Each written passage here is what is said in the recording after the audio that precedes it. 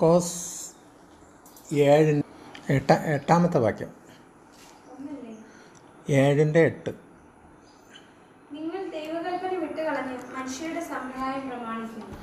You have let go of the commandments of God and ah holding on to the human traditions നിങ്ങൾ നമ്മളെല്ലാവരും ഈ ലോകത്തിലുള്ളവരെല്ലാവരും നമ്മളുൾപ്പെടെ പറയുന്ന എന്താണ്? ദൈവത്തിന്റെ കൽപ്പനകളൊക്കെ വിട്ടുകളഞ്ഞുകൊണ്ട് മനുഷ്യനാൽ മനുഷ്യനാൽ സൃഷ്ടിക്കപ്പെട്ട കമാൻമെന്റാണ് കയ്യിൽ പിടിച്ചുകൊണ്ടിരിക്കുന്നത്.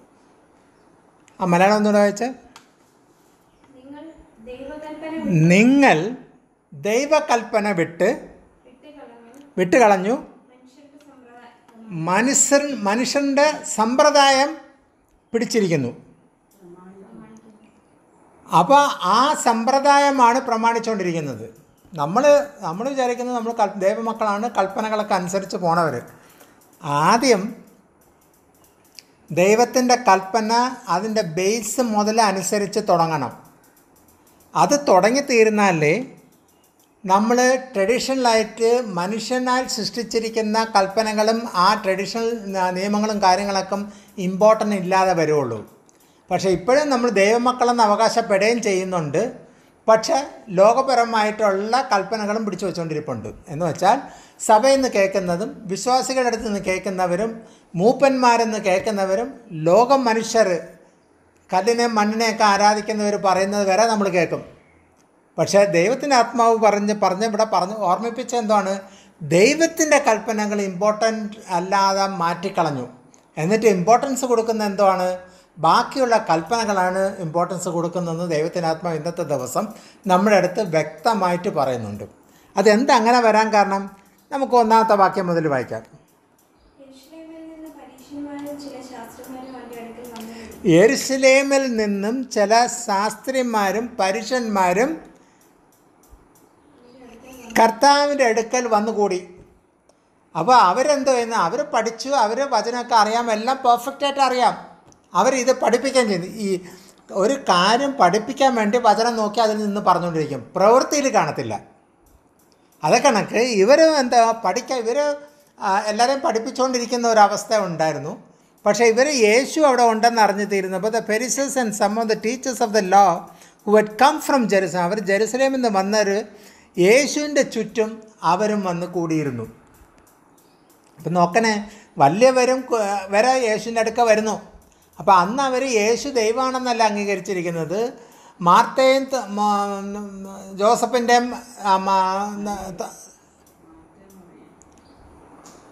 മാർ മേരിയും ജോസഫിന്റെയും മകൻ എന്നുള്ള രീതി മാനുഷികമായിട്ട് രീതിയിൽ കർത്താവ് ഇവിടെ വന്നിരിക്കുന്നു. അപ്പം മനുഷ്യൻ അതുകൊണ്ടാണ് അവർ പറയുന്നത് ഇത് നമ്മുടെ ഇന്നാളുടെ സഹോദരനല്ലേ? ഇന്നാളുടെ സഹോദരിമാർ നമ്മുടെ കൂട്ടത്തിൽ ഉണ്ടല്ലോ. അപ്പോൾ അവർ ആ ഒരു അളവിൽ മാത്രമേ കൊടുക്കുന്നുള്ളൂ. പക്ഷെ അവർ കേൾക്കുന്നുണ്ട്. പ്രത്യേക രീതിയിൽ ഈ വ്യക്തി കാര്യങ്ങൾ സംസാരിക്കുന്നു. അത് സ്വർഗരാജ്യത്തിൽ നമ്മൾ സംസാരിക്കുന്ന അതിനേക്കാളും കുറച്ചുകൂടെ പെർഫെക്റ്റായിട്ട് ഡെപ്തോടു കൂടി പറയുന്നെന്ന് കേട്ടപ്പോൾ ഈ പരുഷന്മാരും ശാസ്ത്രിമാരും അവിടെ വരുന്നു. ജെറുസലേമിൽ നിന്ന് വന്നവർ എന്നിട്ട് രണ്ടാമത്തെ വാക്യം.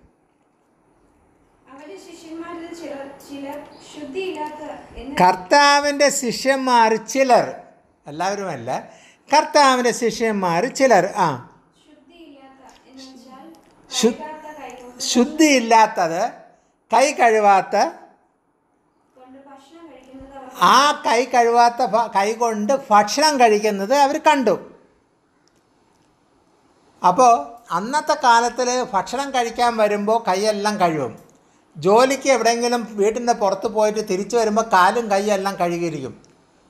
അത് അതെല്ലാം വൃത്തിയാക്കിയതിന് ശേഷം അവർ ഫുഡിന്റെ ഫ്രണ്ടിൽ ഇരിക്കുമല്ലോ. പ്ലേറ്റ് എല്ലാം കഴുകുമ്പോൾ ആ- പാത്രങ്ങൾ ആ സമയത്താണ് എല്ലാം കഴുകുന്നത്.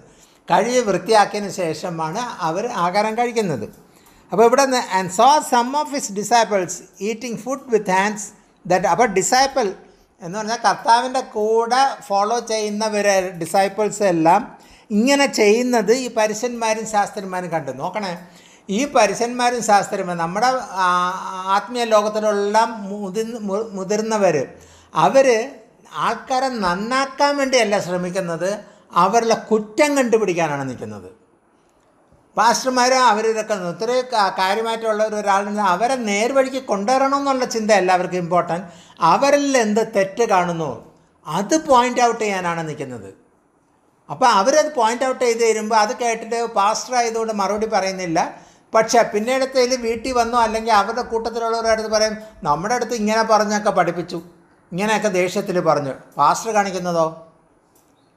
അപ്പോൾ അവിടെ വരുന്നതെന്ന് അവർ പരസ്പരം പഠിപ്പിക്കാൻ വേണ്ടി തയ്യാറെടുപ്പ് നിൽക്കുന്നതാണ്.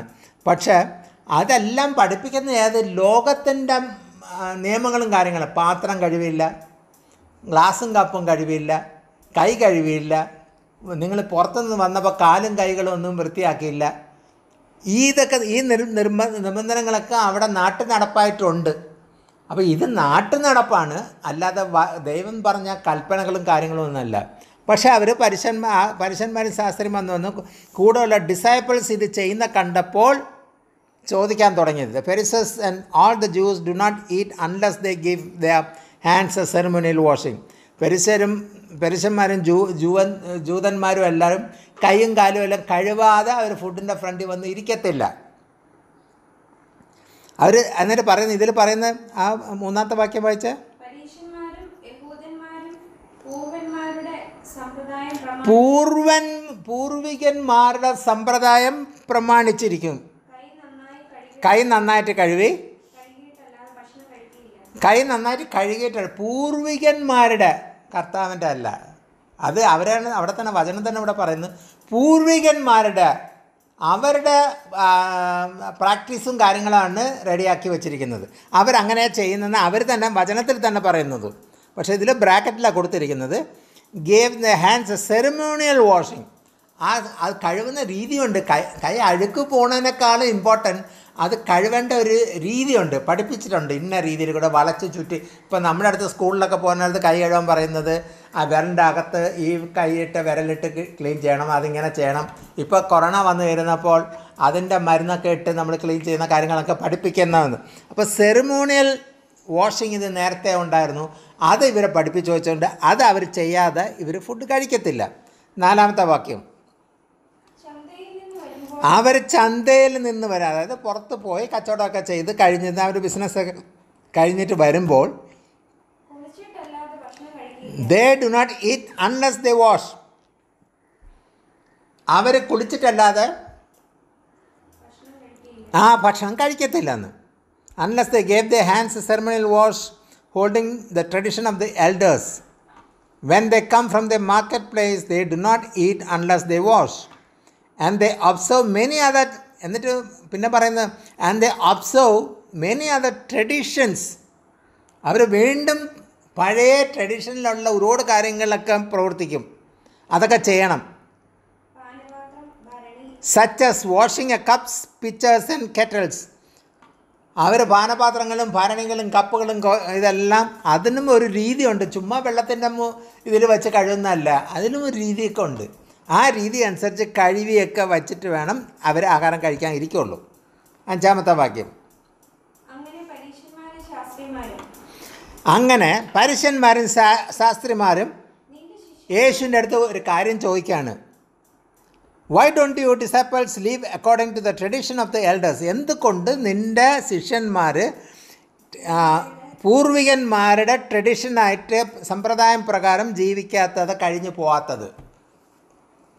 അപ്പോൾ ഇവിടെ പറയുന്നത് എന്താണ് അവർക്ക് അവരുടെ ജോലി എന്താണ്? കൽപ്പനകൾ പഠിപ്പിച്ചു കൊടുത്ത് അതനുസരിച്ച് നടക്കണമെന്നല്ല പറയുന്നത്. വചനം പറയുന്നതനുസരിച്ച് നമ്മൾ നീങ്ങണമെന്നല്ല പറയുന്നത്.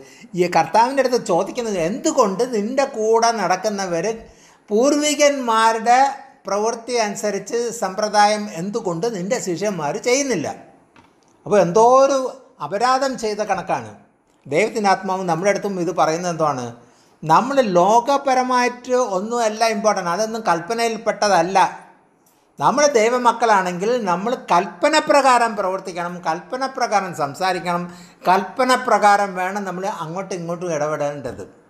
ദൂതുകൾ പറയുമ്പം തന്നെ പ്രത്യേകം ശ്രദ്ധിച്ചോളണം. കൽപ്പന പ്രകാരമാണ് ആ ദൂതുകൾ പറയുന്നതെങ്കിൽ അത് ഏറ്റെടുക്കുക. ലോകപരമായിട്ടുള്ള ദൂതുകളാണെങ്കിൽ നോക്കിക്കൊള്ളണം. അത് ചില ലോകകാര്യങ്ങളുള്ളത് തരും. ചിലവർ കർത്താവിന്റെ അടുത്ത് പ്രാർത്ഥിച്ച് നമ്മുടെ ഒരു വിഷയമുണ്ട്. ഇപ്പം നമ്മൾ പിള്ളേരൊക്കെ സ്കൂളിൽ പഠിക്കാനെടുത്ത് പാസ്സാവണം കാര്യങ്ങളൊക്കെ വരും. പക്ഷേ ആ പാസ്സാവണം എന്ന് പറഞ്ഞ കർത്താവ് ജയിപ്പിച്ചു കൊടുക്കും. പക്ഷേ എനിക്ക് ഈ സ്കൂളിലെ നമ്പർ വൺ കിട്ടണം എന്ന് പറയുമ്പോൾ അത് കർത്താവ് ചിന്തിച്ചിട്ടേ തരുള്ളൂ. അല്ലേ അപ്പോൾ ഇവിടെ വായിച്ചതും so the Pharisees and teachers of the law as Jesus അവർ യേശുവിനടുത്ത് ചോദിച്ചു വൈ ഡോണ്ട് യുവർ ഡിസൈപ്പിൾ എന്തുകൊണ്ട് നിന്റെ disciples live according to the tradition of the elders പൂർവികന്മാരുടെ സമ്പ്രദായം പ്രകാരം ജീവിക്കാത്തത് എന്ത് instead of eating their food അവർ അവരുടെ ഫുഡ് കഴിക്കുന്നതിന് മുമ്പ് വിത്ത് ഡിഫൈൽഡ് ഹാൻഡ്സ് അഴുക്കുള്ള കൈകൾ കൊണ്ട് തന്നെയാണ് അവർ എന്തുകൊണ്ട് ഫുഡ് കഴിക്കുന്നത്? അപ്പോൾ ഇവിടെ കർത്താവ് പഠിപ്പിക്കുന്ന കാര്യത്തിനൊന്നും അല്ല ഇമ്പോർട്ടന്റ് അവർക്ക് പഴയ സമ്പ്രദായന്മാർ അവർക്ക് അവരുടെ പൂർവികന്മാർ പഠിപ്പിച്ച കാര്യങ്ങൾ. അതുകൊണ്ട് അതെന്ത് ചെയ്യാത്തത്? അത് നടപ്പിലാക്കാൻ വേണ്ടി കർത്താവിന്റെ നാവിൽ കൊണ്ട് അത് പറയിപ്പിക്കണം. ഇപ്പോഴും നമ്മളും അത് തന്നെ. ചർച്ച് ഓഫ് ഗോഡ് പോകുന്ന അടുത്ത് ഒരു നിയമം. ഐ പി സി ചെല്ലുമ്പോൾ വേറൊരു നിയമം. എ ജി ചെല്ലുമ്പോൾ വേറൊരു നിയമം. ഷാറൗണ്ടിൽ ചെല്ലുമ്പോൾ വേറെ നിയമം. എല്ലായിടത്തും പോകുമ്പോൾ ഒരേ ബൈബിൾ അറുപത്താറ് പുസ്തകമുള്ള ബൈബിളെ കൊണ്ട് നടക്കുള്ളൂ. അയ്യോ മറ്റത് കൂടിയ പുസ്തകം കൂടുതൽ പുസ്തകമുള്ളത് അത് നമ്മുടെ പുസ്തകമൊന്നുമല്ല അത് കറക്റ്റല്ല അപ്പോൾ നമ്മുടെ കയ്യിലുള്ള അറുപത്താറ് പുസ്തകം എന്തുകൊണ്ട് ഈ ഈ സഭകളിലെല്ലാം മാറി മാറി സെയിം പുസ്തകം കയ്യിലിരിപ്പുണ്ട് പല ഇതിന് ഇമ്പോർട്ടൻസ് കൊടുത്തിട്ടിരിക്കും. അതെന്താ അങ്ങനെ മാറുന്നത്? ദൈവവചനം ഒന്നല്ലേ? ദൈവവചനം ഒന്നായത് അത് തന്നെയല്ലേ നമ്മുടെ കറുത്ത പുസ്തകത്തിൽ എഴുതി വച്ചിരിക്കുന്നത്? എന്നിട്ട് പിന്നെ ആൾക്കാർ ഈ മാറ്റുന്നത് എന്തിന്? അവരവർ ഓരോ സഭയിൽ ഓരോ രീതിയിലുള്ള ഇമ്പോർട്ടൻസ് കൊടുക്കുന്നു. അപ്പം നമ്മൾ അങ്ങോട്ട് ആ സഭയിൽ ചോദിക്കുക എന്തുകൊണ്ട് മറ്റു സഭ ഇങ്ങനെ ചെയ്യുന്നില്ല? എന്ന് പറഞ്ഞാൽ അത് അവരുടെ സഭയുടെ കാര്യം നമുക്കറിയണം. നമുക്ക് വെളിപ്പെട്ടത് നമുക്ക് ഇവിടെ നിയമങ്ങളുണ്ട് എന്ന് അപ്പം നമ്മുടെ നിയമമല്ല വേണ്ടത് വചനത്തിന്റെ നിയമങ്ങളാണ്. എല്ലാവരും നമ്മുടെ സഭകളിൽ തന്നെ നമ്മൾ വചനം എന്ന് പറയുന്ന നിയമപുസ്തകം നമ്മുടെ കയ്യിലിരിക്കുകയാണ്. എന്നാലും അവിടെ വേറൊരു നിയമപുസ്തകം കൂടെ റെഡിയാക്കി വയ്ക്കും. ആ നിയമം അനുസരിച്ച് മുമ്പോട്ട് പോകാം. പിന്നെ എന്തിനാ ഈ കൽപ്പനകൾ? അപ്പോൾ അവിടെ തന്നെ ട്രഡീഷൻ കൊണ്ടുവരുന്ന കാര്യമാണ്. ആ അടുത്തത്. He replied Isaiah was right when he prophesied about your hypocrites ആറാമത്തെ വാക്യം വെച്ച്. അവൻ കർത്താവ് അവരോട് ഉത്തരം പറഞ്ഞത് എങ്ങനെ? നിങ്ങളെക്കുറിച്ച് കാമ്പടഭക്തിക്കാരായ നിങ്ങൾ. അപ്പോൾ എല്ലാവരും ഭക്തി ഭക്തന്റെ വേഷമാണ്. പക്ഷെ കർത്താവിനെ വ്യക്തമായിട്ട് അറിയാവുന്ന കൊണ്ട് തിരി ആദ്യമേ ചോദിച്ചു കവട ഭക്തിക്കാരായ നിങ്ങളുടെ അടുത്ത്? ആ. യശ പറഞ്ഞത് ശരിയാവുന്നു. ആ.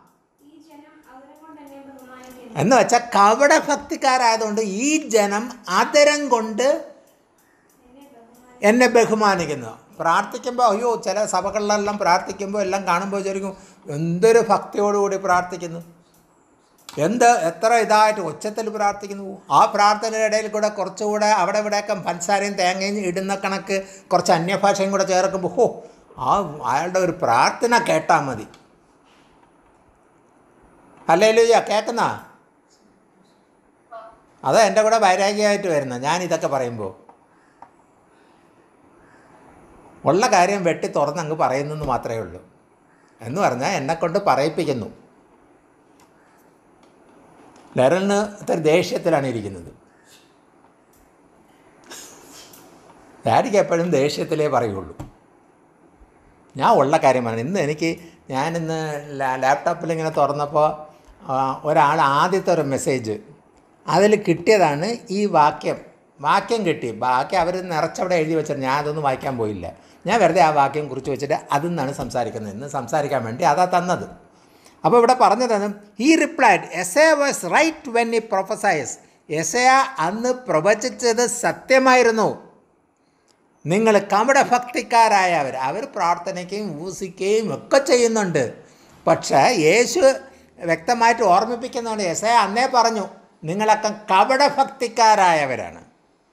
ആസ് ഇറ്റ് എഴുതി വച്ചിരിക്കുന്നത് കറക്റ്റാവുന്നു ഉപവസിക്കുന്നു പ്രാർത്ഥിക്കുന്നു ഭക്തന്റെ വേഷവും കാര്യങ്ങളും എല്ലാം പ്ര- പ്രാവശ്യം വചനം സംസാരിക്കുമ്പോൾ വചനം കൊണ്ടുവന്ന് അതിൽ കൊണ്ടുവന്ന് ചേർക്കും. പക്ഷെ പ്രവൃത്തിയിലുണ്ടോ? അങ്ങനെയാണ് കർത്താവ് ഇവിടെ പറയേണ്ടത് കുറി എസയ കുറിച്ച് വച്ചിരിക്കുന്ന പോലെ കവട ഭക്തിക്കാരായ ഉള്ളവരെ ദീസ് പീപ്പിൾ ഓണോമവിധി അവർ ചുണ്ടുകൊണ്ട് എന്നെ ഭയങ്കര ബഹുമാനത്തോടുകൂടി കാര്യങ്ങൾ സംസാരിക്കും. ദൈവത്തിന്റെ അടുത്തല്ല ബഹുമാനത്തോടുകൂടി സംസാരിക്കും. ജനത്തിന് കേൾക്കാൻ വേണ്ടി. അതായത് ഞാൻ ദൈവത്തിന്റെ ആളാണ്. കൂടെ നടക്കുന്ന വ്യക്തിയാണ് അപ്പോൾ ആ ഭക്തി ഇമ്പമേറിയ വാക്കുകളും കാര്യങ്ങളും ഉപയോഗിക്കുന്നു. പക്ഷെ ഉള്ളം കാണാൻ കർത്താവിന് വ്യക്തമായിട്ട് അറിയാം നീ എന്ത് ഉദ്ദേശത്തിലാണ് അത് സംസാരിക്കുന്നതെന്ന്. അതുകൊണ്ട് മിക്ക ആൾക്കാർക്കും അവിടെയൊക്കെ തെറ്റിപ്പോന്നു. പക്ഷെ കർത്താവ് ഉള്ളം കാണുന്നത് കൊണ്ട് നമ്മുടെ ഈ പരിപാടി ഒന്നും വിജയിക്കത്തില്ല. These people honour me with ഇങ്ങനെയുള്ള കപടഭക്തിക്കാർ അവർ എന്നെ ബഹുമാനിക്കുന്നത് അവരുടെ ചുണ്ട് കൊണ്ട് പക്ഷെ അവരുടെ ഹൃദയമോ ആ ഫാർ അവേ ഫ്രം അവരുടെ എന്റെ അവരുടെ ഹൃദയമോ എന്റെ എന്റെ അടുക്കൽ എന്ന് പറയുന്നത് എത്രയോ അകലെയാണ്. അതിന്റെ കറക്റ്റ് മലയാളം എന്ന് വായിച്ച് ഈ ജനം അതരം കൊണ്ട് എന്നെ ബഹുമാനിക്കുന്നു. ഓ അതരം കൊണ്ട് എന്നെ ബഹുമാനിക്കുന്നു. ആ. എങ്കിലും അവരുടെ ഹൃദയം എങ്കിൽ നിന്ന് ദൂരെ തകർന്നിരിക്കുന്നു. ഹലലിയ നമ്മൾ അകന്നിരിക്കുന്നവരാണോ? അതോ അടുത്തിരിക്കുന്നവരാണോ? സ്നാനപ്പെട്ട മിഷൽ അകന്നിരിക്കുകയാണോ? അതോ അടുത്തിരിക്കുകയാണോ? മാൻഷൻ മാൻഷൻ മിക്കവാറും അടുത്തിരിക്കുന്നതായിട്ടാണ് ആ മുഖം കാണുമ്പോൾ തന്നെ അറിയും. അല്ല ഉം. ഏഴാമത്തെ വാക്യം. They worship me in vain the teachings are merely human rules ഏഴാമത്തെ മലയാളം വായിച്ച്? അവർ മാനുഷ്യ കൽപ്പനകളാൽ ഉപദേശങ്ങൾ മാനുഷിക കൽപ്പനകളായ ഉപദേശങ്ങളെ മാനുഷ്യ കൽപ്പനകളായ ഉപദേശങ്ങൾ അതായത് മാനുഷികമായിട്ടുള്ള ഉപദേശങ്ങൾ അവർ ഉപദേശിക്കുന്ന കൊണ്ട് എന്നെ വ്രതം വ്യർത്ഥമായി ഭജിക്കുന്നു. അപ്പോൾ നോക്കണം എത്ര കൃത്യമായിട്ട് വചനം നമ്മൾ ഈ ലോകത്ത് നടക്കുന്ന നമ്മുടെ ചുറ്റുപാടിൽ നടക്കുന്ന നമ്മുടെ കൂട്ടത്തിൽ നടക്കുന്നവരെ കൃത്യമായിട്ട് വചനത്തിൽ എഴുതി വെച്ചിരിക്കുന്നു. കർത്താവ് എങ്ങനെ ഇതിന് മുമ്പ് രണ്ടായിരം വർഷത്തിന് മുമ്പ് പുസ്തകം എഴുതി വച്ചു? നമ്മുടെ വീട്ടിൽ നടക്കുന്നത് നമ്മുടെ ചുറ്റും നടക്കുന്ന നമ്മുടെ സഭകളിൽ നടക്കുന്നത് എല്ലാം അന്നേ എഴുതി വെച്ചിരുന്നു. ഇന്നിപ്പോൾ നമ്മൾ വായിക്കുന്നു. രണ്ടായിരം വർഷം വേണ്ടി വന്ന് ഇതൊന്ന് വായിക്കാൻ. എട്ടാമത്തെ വാക്യം. നിങ്ങൾ ഞാൻ ഉൾപ്പെടെ നിങ്ങൾ ദൈവകൽപ്പനകളെ വിട്ടുകളഞ്ഞു. മനു മനുഷ്യരുടെ സമ്പ്രദായങ്ങളെല്ലാം പ്രമാണിക്കുന്നു. നിങ്ങൾ വ്യക്തമാണ് നിങ്ങൾ ദൈവകൽപ്പനകൾ വിട്ടുകളഞ്ഞിട്ട് മനുഷ്യരുടെ സമ്പ്രദായങ്ങളെല്ലാം പ്രമാണിക്കുന്നു എന്നാണ്. എന്നിട്ട് അവരടുത്ത് എടുത്തു പറഞ്ഞത് എന്താണ് And he continued, You have a fine way of setting aside the commandments of God in order to observe. ആ മലയാളം വെച്ച് നിങ്ങളുടെ സമ്പ്രദായം പ്രമാണിക്കാൻ വേണ്ടി. അവരവരുടെ ഓരോ സമ്പ്രദായങ്ങളുണ്ട്. അത് ലോകപരമായ സമ്പ്രദായമുണ്ട്. അല്ല അവരുടെ വളർന്ന രീതിയിലുള്ള സമ്പ്രദായങ്ങളുണ്ട്. ആ സമ്പ്രദായം വെച്ച് അവരത് പ്രമാണിക്കാൻ വേണ്ടി നിങ്ങൾ ദൈവകൽപ്പനകളെ തള്ളിക്കളയും തള്ളിക്കളയുന്നു. And he continued, You have a fine way of setting aside the commandments of God in order to observe your own tradition നമ്മുടെ സ്വന്തമായിട്ടുള്ള ട്രഡീഷനും നിയമം അനുസരിച്ച് ദൈവത്തിന്റെ കൽപ്പനകൾ നമ്മൾ സുന്ദരമായ രീതിയിൽ വളച്ച് കോട്ടി സംസാരിച്ച് അത് മാറ്റി വയ്ക്കും. അപ്പോൾ വചനത്തിന് ഇമ്പോർട്ടൻസ് കൊടുക്കാതെ നമ്മുടെ നമ്മുടെ സമ്പ്രദായത്തിന് അതാണ് നമ്മൾ പറയുന്നത്. സ്വർണമാലയൊന്നും ഇടരുത് എന്താ സ്നാനപ്പെടുന്ന സമയത്ത്. ദൈവമക്കൾ സ്വർണമാല ഇടരുന്നത് അത് എവിടെ കിടക്കുന്നു ബൈബിളിൽ പഴയ നിയമത്തിൽ എഴുതുക അന്ന് അവർ സ്വർണം മാറ്റി എന്നൊക്കെ പറഞ്ഞിട്ട് ഇട്ടിരുന്ന അത് എടുത്തുകൊണ്ട് വരും. അപ്പോൾ അവരുടെ സമ്പ്രദായത്തിന് വേണ്ടി. എന്നിട്ട് ഇപ്പോഴോ? ഇപ്പോഴും കല്യാണ കമ്പോളത്തിലൊക്കെ സ്ത്രീധനങ്ങൾ സ്വർണമൊക്കെ കാട്ടി കൂട്ടി വാങ്ങിക്കുന്നുണ്ട്. സ്വർണം ഇല്ലെങ്കിൽ കുഴപ്പമൊന്നുമില്ല. നിങ്ങൾ അത് വിറ്റ പണമായിട്ട് ബാങ്കിൽ ഇട്ടാൽ മതി. അപ്പോൾ എല്ലാം ഒപ്പമായില്ലേ നമ്മുടെ ഉള്ളിന്റെ ചിന്ത സ്വർണം. പണം വന്നാലും അത് സ്വർണമാണ്. നമ്മുടെ സമ്പ്രദായത്തിന് വേണ്ടി. വചനം എന്തോ എഴുതിയിരിക്കുന്നത്? And continued you have a fine way of അത് ഇവിടെ ഇംഗ്ലീഷിൽ എഴുതിയിരിക്കുന്ന രസം. You have a fine F I N E fine നല്ല രീതിയിൽ സോപ്പിട്ട് പറഞ്ഞ് നിങ്ങളുടെ നിയമം അനുസരിച്ച് കൊണ്ടുവരാൻ നിങ്ങൾക്ക് കഴിവുണ്ട്. നമ്മൾ വക്കീലന്മാരുടെ അടുത്ത് ഒരു കൊല ചെയ്തിട്ട് വക്കീലിന്റെ അടുത്ത് കേസ് കൊണ്ട് ചെന്നാലും ജയിപ്പിച്ചു തരും. നമ്മൾ കൊല ചെയ്യാതെ ചെന്നാലും ജയിപ്പിച്ചു തരും. ഒരേ നിയമം. അതേ കണക്ക് നമ്മൾ ചില വചനം സംസാരിക്കുന്നവർ ശുശ്രൂഷകന്മാരുടെ അടുത്ത് നിന്നിരുന്നാൽ നമ്മൾ അവരുടെ അടുത്ത് ജയിക്കാൻ പറ്റത്തില്ല. അവർക്ക് അവിടെ നിന്നും ഇവിടെ നിന്നും ഒക്കെ വാക്യങ്ങളുണ്ട്.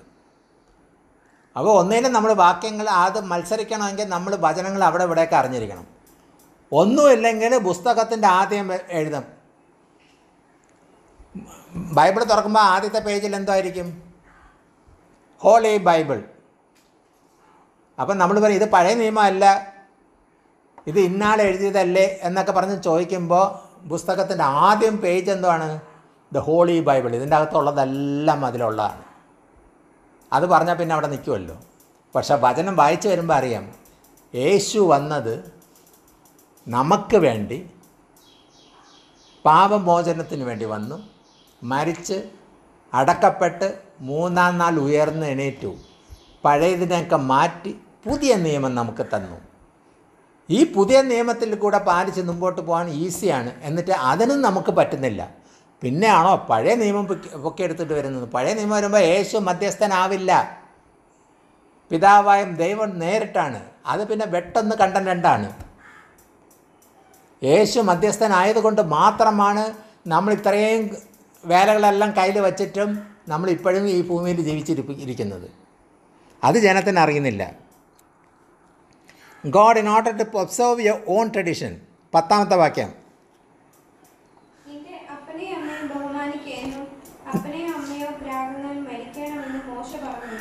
മോശ പറഞ്ഞൊരു കാര്യമുണ്ട്. നിന്റെ അപ്പനെ അമ്മയും ബഹുമാനിക്കണം.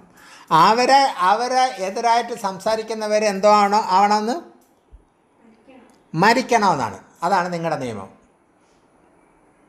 ഇത് ആരടുത്ത് പറയുന്നത്? പരുഷന്മാരും ശാസ്ത്രിമാരും വന്ന് ചോദിച്ചതാണ്. ഈ ശിഷ്യന്മാർ കൂടെ നടന്നവർ ഫുഡ് കഴിക്കാനടുത്ത് ട്രഡീഷണായിട്ടുള്ള സമ്പ്രദായം ചെയ്യാത്തതിന് വേണ്ടിയാണ് ഇത്രയും മറുപടി കർത്താവ് കൊടുക്കുന്നത്.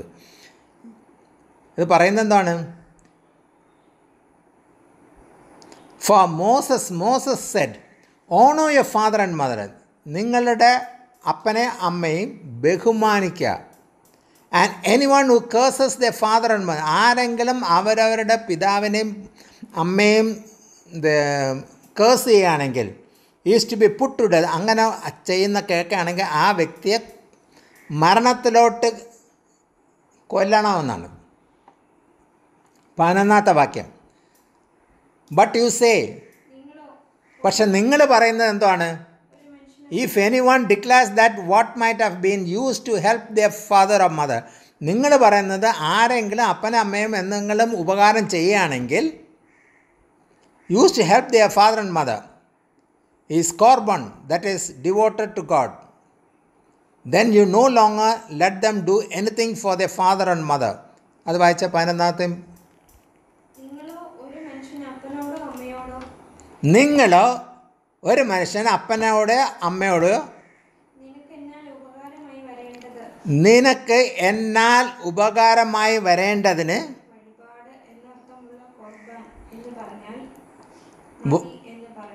ആ നിങ്ങൾ ആ വഴിപാട് എന്ന് വെച്ചാൽ ഒരു സോറി എന്ന് പറയുന്ന കണക്ക് അങ്ങനെ ഒരു വാക്ക് ഉപയോഗിച്ചാൽ മതിയെന്ന് നിങ്ങൾ പറയുന്നു.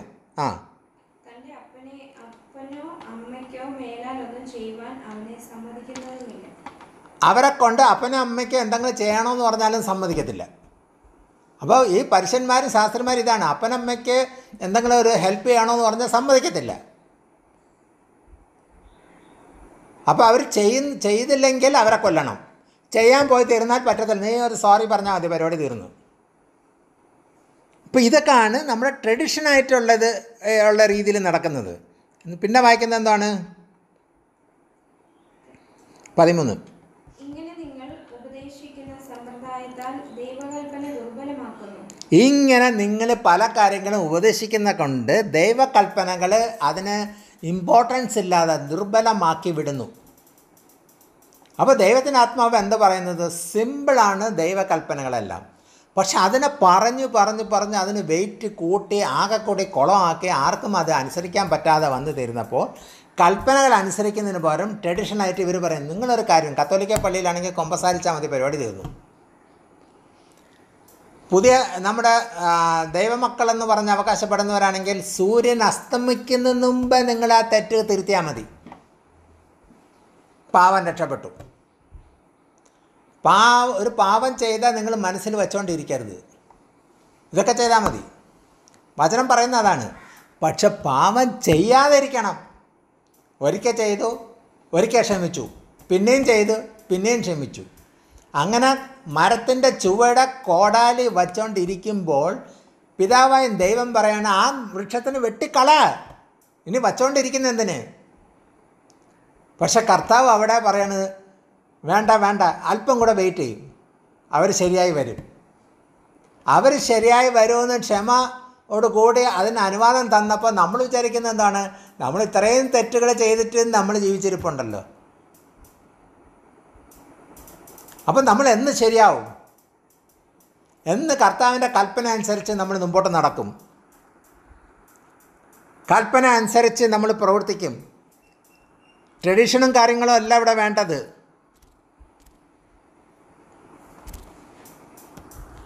ഇപ്പം നമ്മൾ വായിച്ചത് പതിമൂന്ന്. Thus you nullify the word of God by your tradition നിങ്ങളുടെ ട്രഡീഷനായിട്ടുള്ള ഇത് കാരണം ആ ദൈവവചനത്തിന് അതിന് ഇമ്പോർട്ടൻസ് ഇല്ലാതെ ആക്കി വച്ചിരിക്കും. അതിന് വ്യാഖ്യാനിച്ച് വ്യാഖ്യാനിച്ച് ആ കുളമാക്കിയിട്ടുണ്ട്. That you have handed down അതിനെ താഴേക്കാക്കി. And you do not and you do many things like that അങ്ങനെ പല ഒരുപാട് കാര്യങ്ങൾ നിങ്ങൾ ചെയ്യുന്നല്ലോ.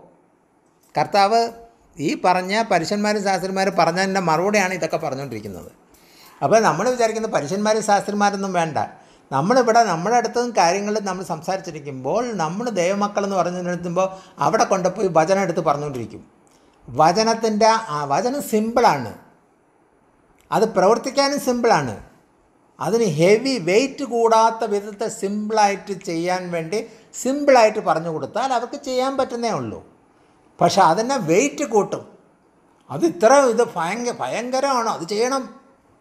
ഇത് പറയുമ്പോഴാണ് ആ സിമ്പിളായിട്ട് പ്രവർത്തിക്കാൻ അച്ഛനും അമ്മയ്ക്കും ബഹുമാനിക്കുക എന്ന് പറയുമ്പോൾ സിമ്പിളാണ്. അച്ഛനും അമ്മയും ബഹുമാനിക്കാം കുഴപ്പമില്ലല്ലോ. പക്ഷെ അതിൽ പറയുന്നത് നീ ചെയ്തില്ലെങ്കിൽ അയ്യോ അവരെ കൊന്നുകളയും. ഇത് കേൾക്കുമ്പോൾ നമ്മൾ പിന്നെ ആകെ കൂടി പ്രശ്നമാണ്. അച്ഛനമ്മയുടെ ഫ്രണ്ടിൽ പോലും പോകത്തില്ല. അവിടെ പോയി തരുമ്പോൾ അല്ലേ അച്ഛനമ്മയും പറയുമ്പോൾ കേൾക്കേണ്ടി വരുന്നത്? അപ്പോൾ നിങ്ങളെന്തോ ചെയ്യുന്നത്? കടപ്പം ഏറിയ കാര്യങ്ങൾ വന്നു കരുതുമ്പോൾ നമ്മൾ അച്ഛനമ്മയും കാണാൻ വരെ പോകുന്നില്ല. യോ ഇപ്പം കഷ്ടം. അടുത്തത്. പനനാത്ത വാക്യം എന്താ? ഇല്ല ദസ് പതിനാലാമത്തെ വാക്യം. Again Jesus call the crowd to him and then യേശു പിന്നെ എന്ത് ചെയ്ത്? ബാക്കിയുള്ളവരെയും കൂടെ അടുപ്പിച്ച് വിളിച്ചിട്ട് പറഞ്ഞു. എന്നിട്ട് അവരടുത്ത് പറഞ്ഞു എല്ലാവരും ശ്രദ്ധാപൂർവം കേൾക്കുക പുറത്തുനിന്ന് മനുഷ്യന്റെ അകത്ത് ചെല്ലുന്ന യാതൊന്നിനും അവനെ അശുദ്ധമാക്കും ഞാൻ പറയാൻ പോണതെല്ലാം ഞാൻ പറയുന്നതൊക്കെ നിങ്ങൾക്ക് കേൾക്കാൻ പറ്റും. എല്ലാവരും അടുത്ത് വരാൻ പറഞ്ഞു. നിങ്ങൾക്കത് മനസ്സിലാക്കാനും പറ്റും. സിമ്പിളായിട്ടാണ് കർത്താവ് പറയാൻ പോണത്. പരുഷന്മാരും ശാസ്ത്രന്മാരുടെ ട്രഡീഷണായിട്ടുള്ള ഇത് വരുമ്പോൾ കാഠിനം കഠിനം കൂടുതലാണ്. കർത്താവ് പറയും നിങ്ങളെല്ലാം എന്റെ അടുത്ത് വാ. ഞാൻ പറയാം. സിമ്പിളായിട്ട്. Again Jesus call the crowd to him and said listen to me everyone and understand this എന്നിട്ട് ഇത് മനസ്സിലാക്കുക എന്ന് വ്യക്തമായിട്ട് ഇത് മനസ്സിലാക്കുക നിങ്ങൾ എന്നെ പ്രത്യേകം ശ്രദ്ധിക്കുക പതിനഞ്ചാമത്തെ വാക്യം ഇങ്ങനെ വരും. Nothing outside a person can define them by going into them Malayalam വായിച്ച്? പതിനഞ്ചാം.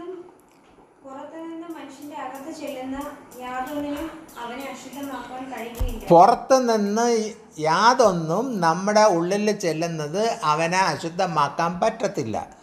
നമ്മൾ പതിനഞ്ച് ദിവസം കഴിഞ്ഞ കേക്കും അലുവയും ഒക്കെ എടുത്ത് കഴിക്കുന്നു. ഫുഡ് ഒരു ഹോട്ടൽ ഇൻഡസ്ട്രിയിൽ പറയുന്നത് വെജിറ്റബിൾ കറികളും കാര്യങ്ങളൊക്കെ വെച്ച് തരുന്ന മൂന്ന് മണിക്കൂർ കഴിഞ്ഞാൽ ഉപയോഗിക്കാൻ പാടില്ല എന്ന്. പക്ഷേ ഇവിടെ നമ്മൾ മൂന്ന് ദിവസം കഴിഞ്ഞാലും ഉപയോഗിക്കുന്നു. പക്ഷേ കർത്താവ് പറയുന്നത് ഇതൊക്കെ നമ്മുടെ ഉള്ളിൽ ചെല്ലുന്നതുകൊണ്ട് നമ്മളെ അശുദ്ധമാക്കുന്നില്ല. അല്ലേലുയാ അപ്പോൾ ഇതൊക്കെ അകത്ത് ചെല്ലുമ്പോൾ നമ്മൾ അശുദ്ധമാക്കുന്നില്ല അതുകൊണ്ട് പ്രത്യേകം ശ്രദ്ധിക്കാൻ പറഞ്ഞിട്ടാണ് ഈ പറയുന്നത്. Nothing outside a person can define them by going into them rather it is what comes out of the person that deli defines them അൽ ഇതല്ല ഇതങ്ങനെയല്ല പക്ഷെ നിങ്ങളുടെ ഉള്ളിൽ നിന്ന് വരുന്നതാണ്. അത് ബാക്കി വായിച്ച മലയാളം? പതിനഞ്ചാമത്തെ അവനിൽ നിന്ന് പുറപ്പെടുന്നത് അത്രയും മനുഷ്യനെ അശുദ്ധമാക്കുന്നത് ഉം. കേൾപ്പാൻ ചെവിയുള്ളവൻ കേൾക്കട്ടെ എന്ന് പറഞ്ഞു ഇല്ലല്ല. അത് വെച്ചാൽ rather it is what comes out കഴിയല്ല അവനിൽ നിന്ന് പുറപ്പെടുന്നത് അതാണ് അശുദ്ധമാക്കുന്നത്. അപ്പോൾ അശുദ്ധം വരുന്നത് എവിടെ നിന്ന് നാവിന്റെ തുമ്പത്തിൽ നിന്നാണ്. വചനം സംസാരിക്കുന്ന അതേ നാവിന്റെ തുമ്പത്തിൽ നിന്ന് തന്നെ അശുദ്ധവും വരും. കാരണം ഉള്ളിന്റെ അകത്ത് കിടക്കുന്ന ചിന്ത നമ്മളെടുത്ത് മാനുഷിക രീതിയിൽ നമ്മളെടുത്ത് ഉപയോഗിക്കുമ്പോൾ അശുദ്ധം വരും. പരസ്യന്മാരും ശാസ്ത്രന്മാരും ഇതാണ് പഠിപ്പിച്ചുകൊണ്ടിരുന്നത് അവർ അവരുടെ നിയമങ്ങളും കാര്യങ്ങളും കുത്തിക്കയറ്റി അവരെ കൊണ്ട് ഇത് പഠിപ്പിച്ചുകൊണ്ടിരുന്നു Jesus call the crowd him. Okay. Rather it is what comes out of a person that define them പതിനേഴാമത്തെ വാക്യം അവൻ പുരുഷാരത്തെ വിട്ട് വീട്ടിൽ ചെന്ന ശേഷം ശിഷ്യന്മാർ ആ ഉപമയെക്കുറിച്ച് അവനോട് ചോദിച്ചു. ആ അവർ after he had left the crowd and entered the house his disciples asked him about this parable Yeshu after he had left the crowd ഈ ക്രൗഡിന്റെ ഇടയിൽ നിന്ന് ഇതെല്ലാം പറഞ്ഞ് പഠിപ്പിച്ച് ശ്രദ്ധിച്ചോളാം പറഞ്ഞ് ജനത്തിനെ അടുപ്പിച്ച് വിളിച്ചു ഇതെല്ലാം പഠിപ്പിച്ചതിന് ശേഷം അവിടെ വിട്ട് വീട്ടിലോട്ട് പോയി. ഹിസ് ഡിപ്പ ഡിസൈപ്പിൾസ് ആസ്റ്റിം അവിടെ ഡിസൈപ്പിൾസ് കർത്താവ് അവിടെ പോകുന്ന സമയത്തും ഡിസൈപ്പിൾസും കൂടെ പോവും. എന്നിട്ട് അവിടെ ചെന്നപ്പോൾ ഡിസൈപ്പിൾസ് ചോദിച്ച് ഇത്രയും നേരം പറഞ്ഞുകൊണ്ടിരുന്ന ഉപമകൾ എന്താണ്? അതിനെപ്പറ്റി ഒന്ന് എക്സ്പ്ലെയിൻ ചെയ്യാൻ വേണ്ടി.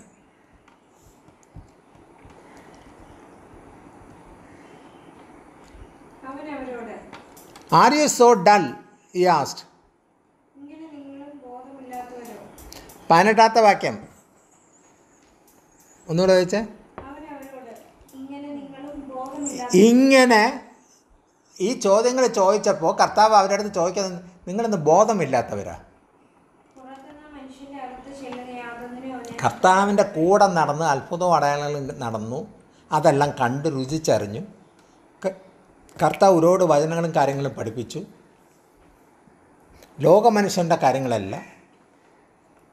സ്വർഗീയ കാര്യങ്ങൾ പഠിപ്പിച്ച് തരുമ്പോൾ വചനം തന്നെ പറയുന്നുണ്ട് ലോക മനുഷ്യന്റെ ജ്ഞാനത്തിനേക്കാളും എത്രയോ അധികമാണ് സ്വർഗീയ ജ്ഞാനമെന്ന് സ്വർഗീയ ജ്ഞാനം പ്രാപിച്ച ഒരു വ്യക്തിയെ ലോക മനുഷ്യന്റെ എത്ര ക്വാളിഫൈഡ് ആയാലും ഇയാളുടെ ബുദ്ധിയുടെ അത്ര എത്തത്തില്ല എന്ന് വചനം തന്നെ പറയുന്നുണ്ട്. ആ കർത്താവ് ഇവരുടെ ഈ ചോദ്യം കേട്ടപ്പോൾ ചോദിക്കുകയാണ് നിങ്ങളെന്ത് മന്ദബുദ്ധികളാണോ? Are you so dull don't you see that nothing that enters a person from the outside can defile them Malayalam വെച്ച പതിനെട്ട്. ഇങ്ങനെ നിങ്ങൾ ബോധമില്ലാത്തവരാണോ? പുറത്ത് നിന്നും മനുഷ്യന്റെ അകത്ത് ചെല്ലുന്നത് യാതൊന്നിനും അവയെ അശുദ്ധമാക്കാൻ കഴിയത്തില്ല. എന്ന് നിങ്ങൾ തിരിച്ചറിയാത്തത് എന്ത് അത് അവന്റെ ഹൃദയത്തിൽ അല്ല വയറ്റിൽ എത്ര ചെല്ലുന്നത് ആ പുറത്തുനിന്ന് നമ്മൾ കഴിക്കുന്ന കാര്യങ്ങളൊക്കെ കഴിക്കുന്നത് ഹൃദയത്തിലല്ല പോണത്. അത് അവരുടെ വയറ്റിലാണ് പോണത്. നിങ്ങൾക്ക് ഇത് പറഞ്ഞപ്പോൾ മനസ്സിലാവുന്നില്ലയോ അപ്പോൾ ഇതൊന്നും നമ്മുടെ ബുദ്ധിയിൽ ആ പ്രമാണത്തിൽ ഹൃദയത്തിലല്ല പോണത്. പക്ഷെ അത് നമ്മുടെ വയറ്റിലത്രേ പോണത്. അപ്പോൾ ദൈവം വ്യക്തമായിട്ട് ഇത് പറഞ്ഞു കൊടുക്കുകയാണ്. ആ. പിന്നെ പോകുന്നു. ഇൻ ഇതിൽ ബ്രാക്കറ്റിൽ ഇവിടെ ഇട്ടിരിക്കുന്നത് in saying this Jesus declare all foods clean ഇങ്ങനെ പറയുന്ന പ്രകാരം യേശു ഡിക്ലെയർ ചെയ്യുന്ന എന്താണ്? എല്ലാ ആകാര സാധനവും ശുദ്ധിയുള്ളത് തന്നെയാണെന്ന്. അങ്ങനെ മലയാളത്തിലുണ്ട്. ആ. ഇങ്ങനെ സകല ഫുഡിനും ശുദ്ധി വരുത്തിച്ചിരിക്കുന്നു എന്ന് ഇവിടെ ഇവിടെ ഡിക്ലെയർ ചെയ്യാണ്.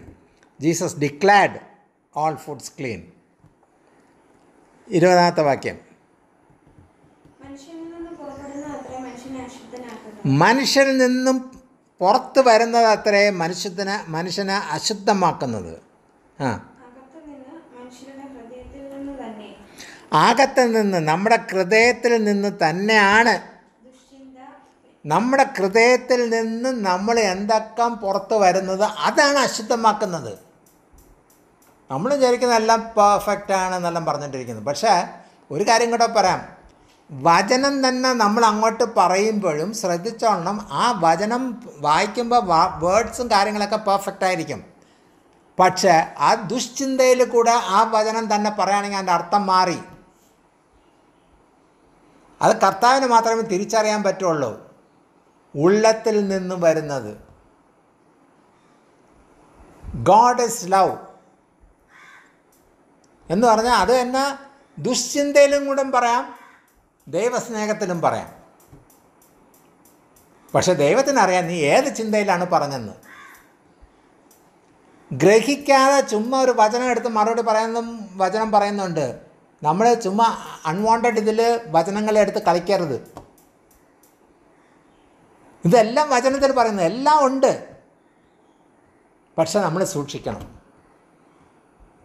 ഉവ്വേ ഉവ്വേ എന്നും ഇല്ല ഇല്ല എന്നും മാത്രമല്ല എന്തെങ്കിലും ഒരു കാര്യം ആത്മീയമായിട്ട് ദൈവമക്കളുടെ അടുത്ത് ആരെങ്കിലും ചോദിച്ചത് മാക്സിമം വേർഡ്സ് കുറച്ചിട്ട് മറുപടി സംസാരിക്കുക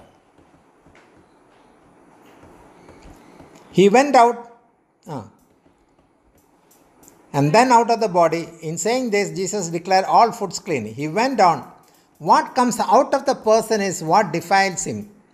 For it is from within, out of the person's heart. ആ ഹൃദയത്തിൽ നിന്ന് വരുന്നതാണ് ദുഷ്ചിന്തകളും ദുഷ് ദുഷ്ടം ചിന്തയോടുകൂടിയൊക്കെ പുറത്തു വരുന്നത്. അപ്പോൾ അകത്ത് പോണതല്ല ഹൃദയത്തിൽ നിന്ന് വരുന്ന കാര്യങ്ങളാണ് അത് നശിപ്പിക്കുന്നത്. ദറ്റ് ഈവൽ തോട്ട്സ് കം ആ? ഈവൽ തോട്ട്സ് ഈവൽ എന്ന് പറയുന്ന പിശാചിന്റെ ചിന്തകളകം അങ്ങനെ ഹൃദയത്തിൽ നിന്നും പുറത്തു വരുന്നതാണ് സൂക്ഷിക്കേണ്ടതെന്ന് പറയുന്നു. ആ ഭാഗം വായിച്ച? ദുശ്ചിന്ത വ്യഭിചാരം പരസംഗം കൊലപാതകം മോഷണം അത്യാഗ്രഹം ദുഷ്ടത ചതി ദുഷ്കർമ്മം വിടക്ക് കണ്ണ് ഇതൊക്കെ ഇതൊക്കെ ചെയ്യുന്നവർ ഇതിന്റെ അർത്ഥങ്ങളൊക്കെ പെട്ടെന്ന് പോയി മനസ്സിലാവും. ഇതെല്ലാം ഹൃദയത്തിൽ നിന്നും പുറപ്പെടുന്നതാണ്. അപ്പോൾ ദൈവത്തിന്റെ വ്യക്തമായിട്ട് ഇവിടെ പറയാണ് ഇതൊക്കെയാണ് പുറത്ത് വരുന്ന കാര്യം. അത് ഹൃദയത്തിന്റെ നോളജിലും ചിന്തയിലും കൂടെ പുറത്തു വരുന്നതാണ്. അതാണ് ദുശ്ചിന്തകളും കാര്യങ്ങളൊക്കെ പ്രവർത്തിക്കുന്നത്. പക്ഷേ അകത്ത് പോകുന്നത് ഒന്നും ദൂഷിച്ച കാര്യങ്ങളല്ല. അപ്പോൾ ദൈവത്തിനാത്മാവ് വ്യക്തമായിട്ട് പറഞ്ഞത് ഏത് ഫുഡ് കഴിച്ചാലും കുഴപ്പമൊന്നുമില്ല. ഇവിടെ ബ്രാക്കറ്റിൽ എഴുതി തന്നെ നിങ്ങൾ എന്ത് ഫുഡ് കഴിച്ചാലും കുഴപ്പമില്ല. പക്ഷേ ഉള്ളിൽ നിന്നും പുറത്തു വരുന്നതാണ് മനുഷ്യനെ തെറ്റിൽ കൂടെ കൊണ്ടുവരുന്ന അവനെ ശാപത്തിൽ കൊണ്ടുപോകുന്നത്. ഇത് പ്രവർത്തിക്കുന്നതാണ് ഈവൽ സ്പിരിറ്റാണ് നമ്മുടെ ഉള്ളിലിരിക്കുന്ന ഈവൽ സ്പിരിറ്റാണ് ഇതൊക്കെ എല്ലാം കാണിക്കുന്നത്. ഇപ്പോൾ ദൈവത്തിന്റെ ആത്മാ വ്യക്തമായിട്ട് ഇത് പറയാണ് സൂക്ഷിച്ചു കൊള്ളാൻ. ഇരുപത്തിമൂന്നാമത്തെ ഈ ദോഷങ്ങളെല്ലാം അകത്തുനിന്ന് പുറപ്പെട്ട് മനുഷ്യനെ അശുദ്ധനാക്കുന്നു ആ- ആക്കുന്നു എന്നും അവൻ പറഞ്ഞു ഈ ദോഷങ്ങൾ അത്രേ മനുഷ്യന്റെ അകത്തിൽ നിന്നും പുറത്ത് വന്ന് വരുന്നതും മനുഷ്യനെ അശുദ്ധമാക്കുന്നു എന്ന് ദൈവത്തിന്റെ ആത്മാവ് ഇന്നത്തെ ദിവസം പറയുന്നു. അപ്പോൾ ദൈവത്തിന്റെ ആത്മാവ് ഇവിടെ പറഞ്ഞത് എന്തോ ഏഴാമത്തെ വാക്യത്തിൽ ഇവിടെ പറയുന്നത് എന്തോ the worship me in vain the teachings and merely human rules അവർ പഠിപ്പിക്കുന്നതും എന്നെ എന്ത് വേർഷിപ്പ് ചെയ്യുന്നതൊക്കെ വെറുതെ വെറുതെ ചെയ്യുന്നത് മാത്രമേ ഉള്ളൂ. ആ ഏഴാമത്തെ വാക്യം മലയാളം വായിച്ചേ? മാനുഷിക കൽപ്പനകളാൽ മാനുഷിക കൽപ്പന കൽപ്പനകളായ ഉപദേശങ്ങൾ അത്രേ അവർ പഠിപ്പിക്കുന്നത് അവരങ്ങനെ ഉപദേശിക്കുന്നത് കൊണ്ടും വേർഷിപ്പ് ചെയ്യുന്നതുകൊണ്ടും എന്നെ എന്നെ ഇമ്പോർട്ടൻസ് പോലും കൊടുക്കാതെ എന്നെ അത് കണക്കൂട്ടുകയാണ് അപ്പോൾ ദൈവത്തിന്റെ ആത്മാവ് ഇന്ന ദിവസം നമ്മുടെ അടുത്ത് ചോദിക്കുന്നത് എന്താണ്? നമ്മൾ അങ്ങനെയാണോ? നമ്മൾ യേശുവിനെ സ്തുതിക്കുന്നു പ്രാർത്ഥിക്കുന്നു ഉപസിക്കുന്നു ഇതെല്ലാം നമ്മൾ ചെയ്യുന്നു. പക്ഷേ അതെല്ലാം വേർഷിപ്പ് മീ ഇൻ വെയിൻ ആണോ? ആ പഠിപ്പീരക്കം ഹ്യൂമൻ റൂൾസിന്റെ ഇതിൽ കൂടെ വന്നതാണോ? എന്ന് ദൈവത്തിന്റെ ആത്മാവ് ഇന്നത്തെ ദിവസം നമ്മുടെ ചോദിക്കുകയാണ്. അതിൽ നിന്നൊക്കെ മാറിക്കിട്ടാൻ വേണ്ടി ദൈവത്തിന്റെ അടുത്ത് കൂടുതൽ അടുക്കുവാനും ഒരു കുഞ്ഞിന്റെ നിഷ്കളങ്കതയോടുകൂടി ദൈവസന്നിധിയിൽ അടുത്ത് വന്നിട്ട് കർത്താവിന്റെ അടുത്ത് എന്നെ ചോദിച്ചിട്ട് അതിൽ നിന്നൊക്കെ മാറിക്കിട്ടുവാൻ വേണ്ടി ദൈവത്തിന്റെ സന്നിധിയിൽ യാചിച്ചാൽ അതിനൊക്കെ മറുപടി തരും അതിനൊക്കെ അവിടെ നിന്നൊക്കെ മാറ്റിത്തരുമെന്ന് ദൈവത്തിന്റെ ആത്മാവ് വ്യക്തമാക്കുന്നുണ്ട്. വലം കൈ പിടിച്ച് നമ്മളെ നടത്തിക്കൊണ്ട് പോകും അത് നമുക്ക് കടക്കാൻ പറ്റുന്നില്ല നമുക്ക് തടസ്സമുണ്ടെന്നൊക്കെ ചിന്തിക്കുന്നിടത്തൊക്കെ അതിനെ ഓവർകം ചെയ്തിട്ട് നമ്മുടെ ഉള്ളം കയ്യിൽ വകിച്ച് അക്കരയ്ക്ക് എത്തി എത്തിക്കുന്ന ഒരു ദൈവത്തെയാണ് നമ്മൾ സേവിക്കുന്നത്. പക്ഷേ ഇവിടെ ഇന്ന് ഇതെല്ലാം പറയുമ്പോൾ നമ്മുടെ ഉള്ളിൽ നിന്നും വരുന്നതൊന്നും ദൈവത്തിന് ഇഷ്ടപ്പെടാത്തതായിരിക്കരുതെന്ന് ദൈവത്തിന്റെ ആത്മാവ് വ്യക്തമാക്കുന്നു. കാരണം ഉള്ളിൽ നിന്നാണ് ഇതൊക്കെ വരുന്നത്. അല്ല നമ്മൾ കഴിക്കുന്ന കാര്യത്തിൽ നിന്നൊന്നും നമ്മുടെ ഉള്ളിലോട്ട് പോകുന്നതൊന്നും ചീത്തയാവുന്ന കാര്യമേ അല്ല എന്ന് ദൈവത്തിന്റെ ആത്മാവ് ഇന്നത്തെ ദിവസം വ്യക്തമാക്കുന്നുണ്ട്. ഇങ്ങനെ ഒരു അവസരം തന്ന ദൈവത്തിനെ സ്തുതിച്ചുകൊണ്ട് നമുക്ക് അടുത്ത ഇതിലോട്ട് പോവാം.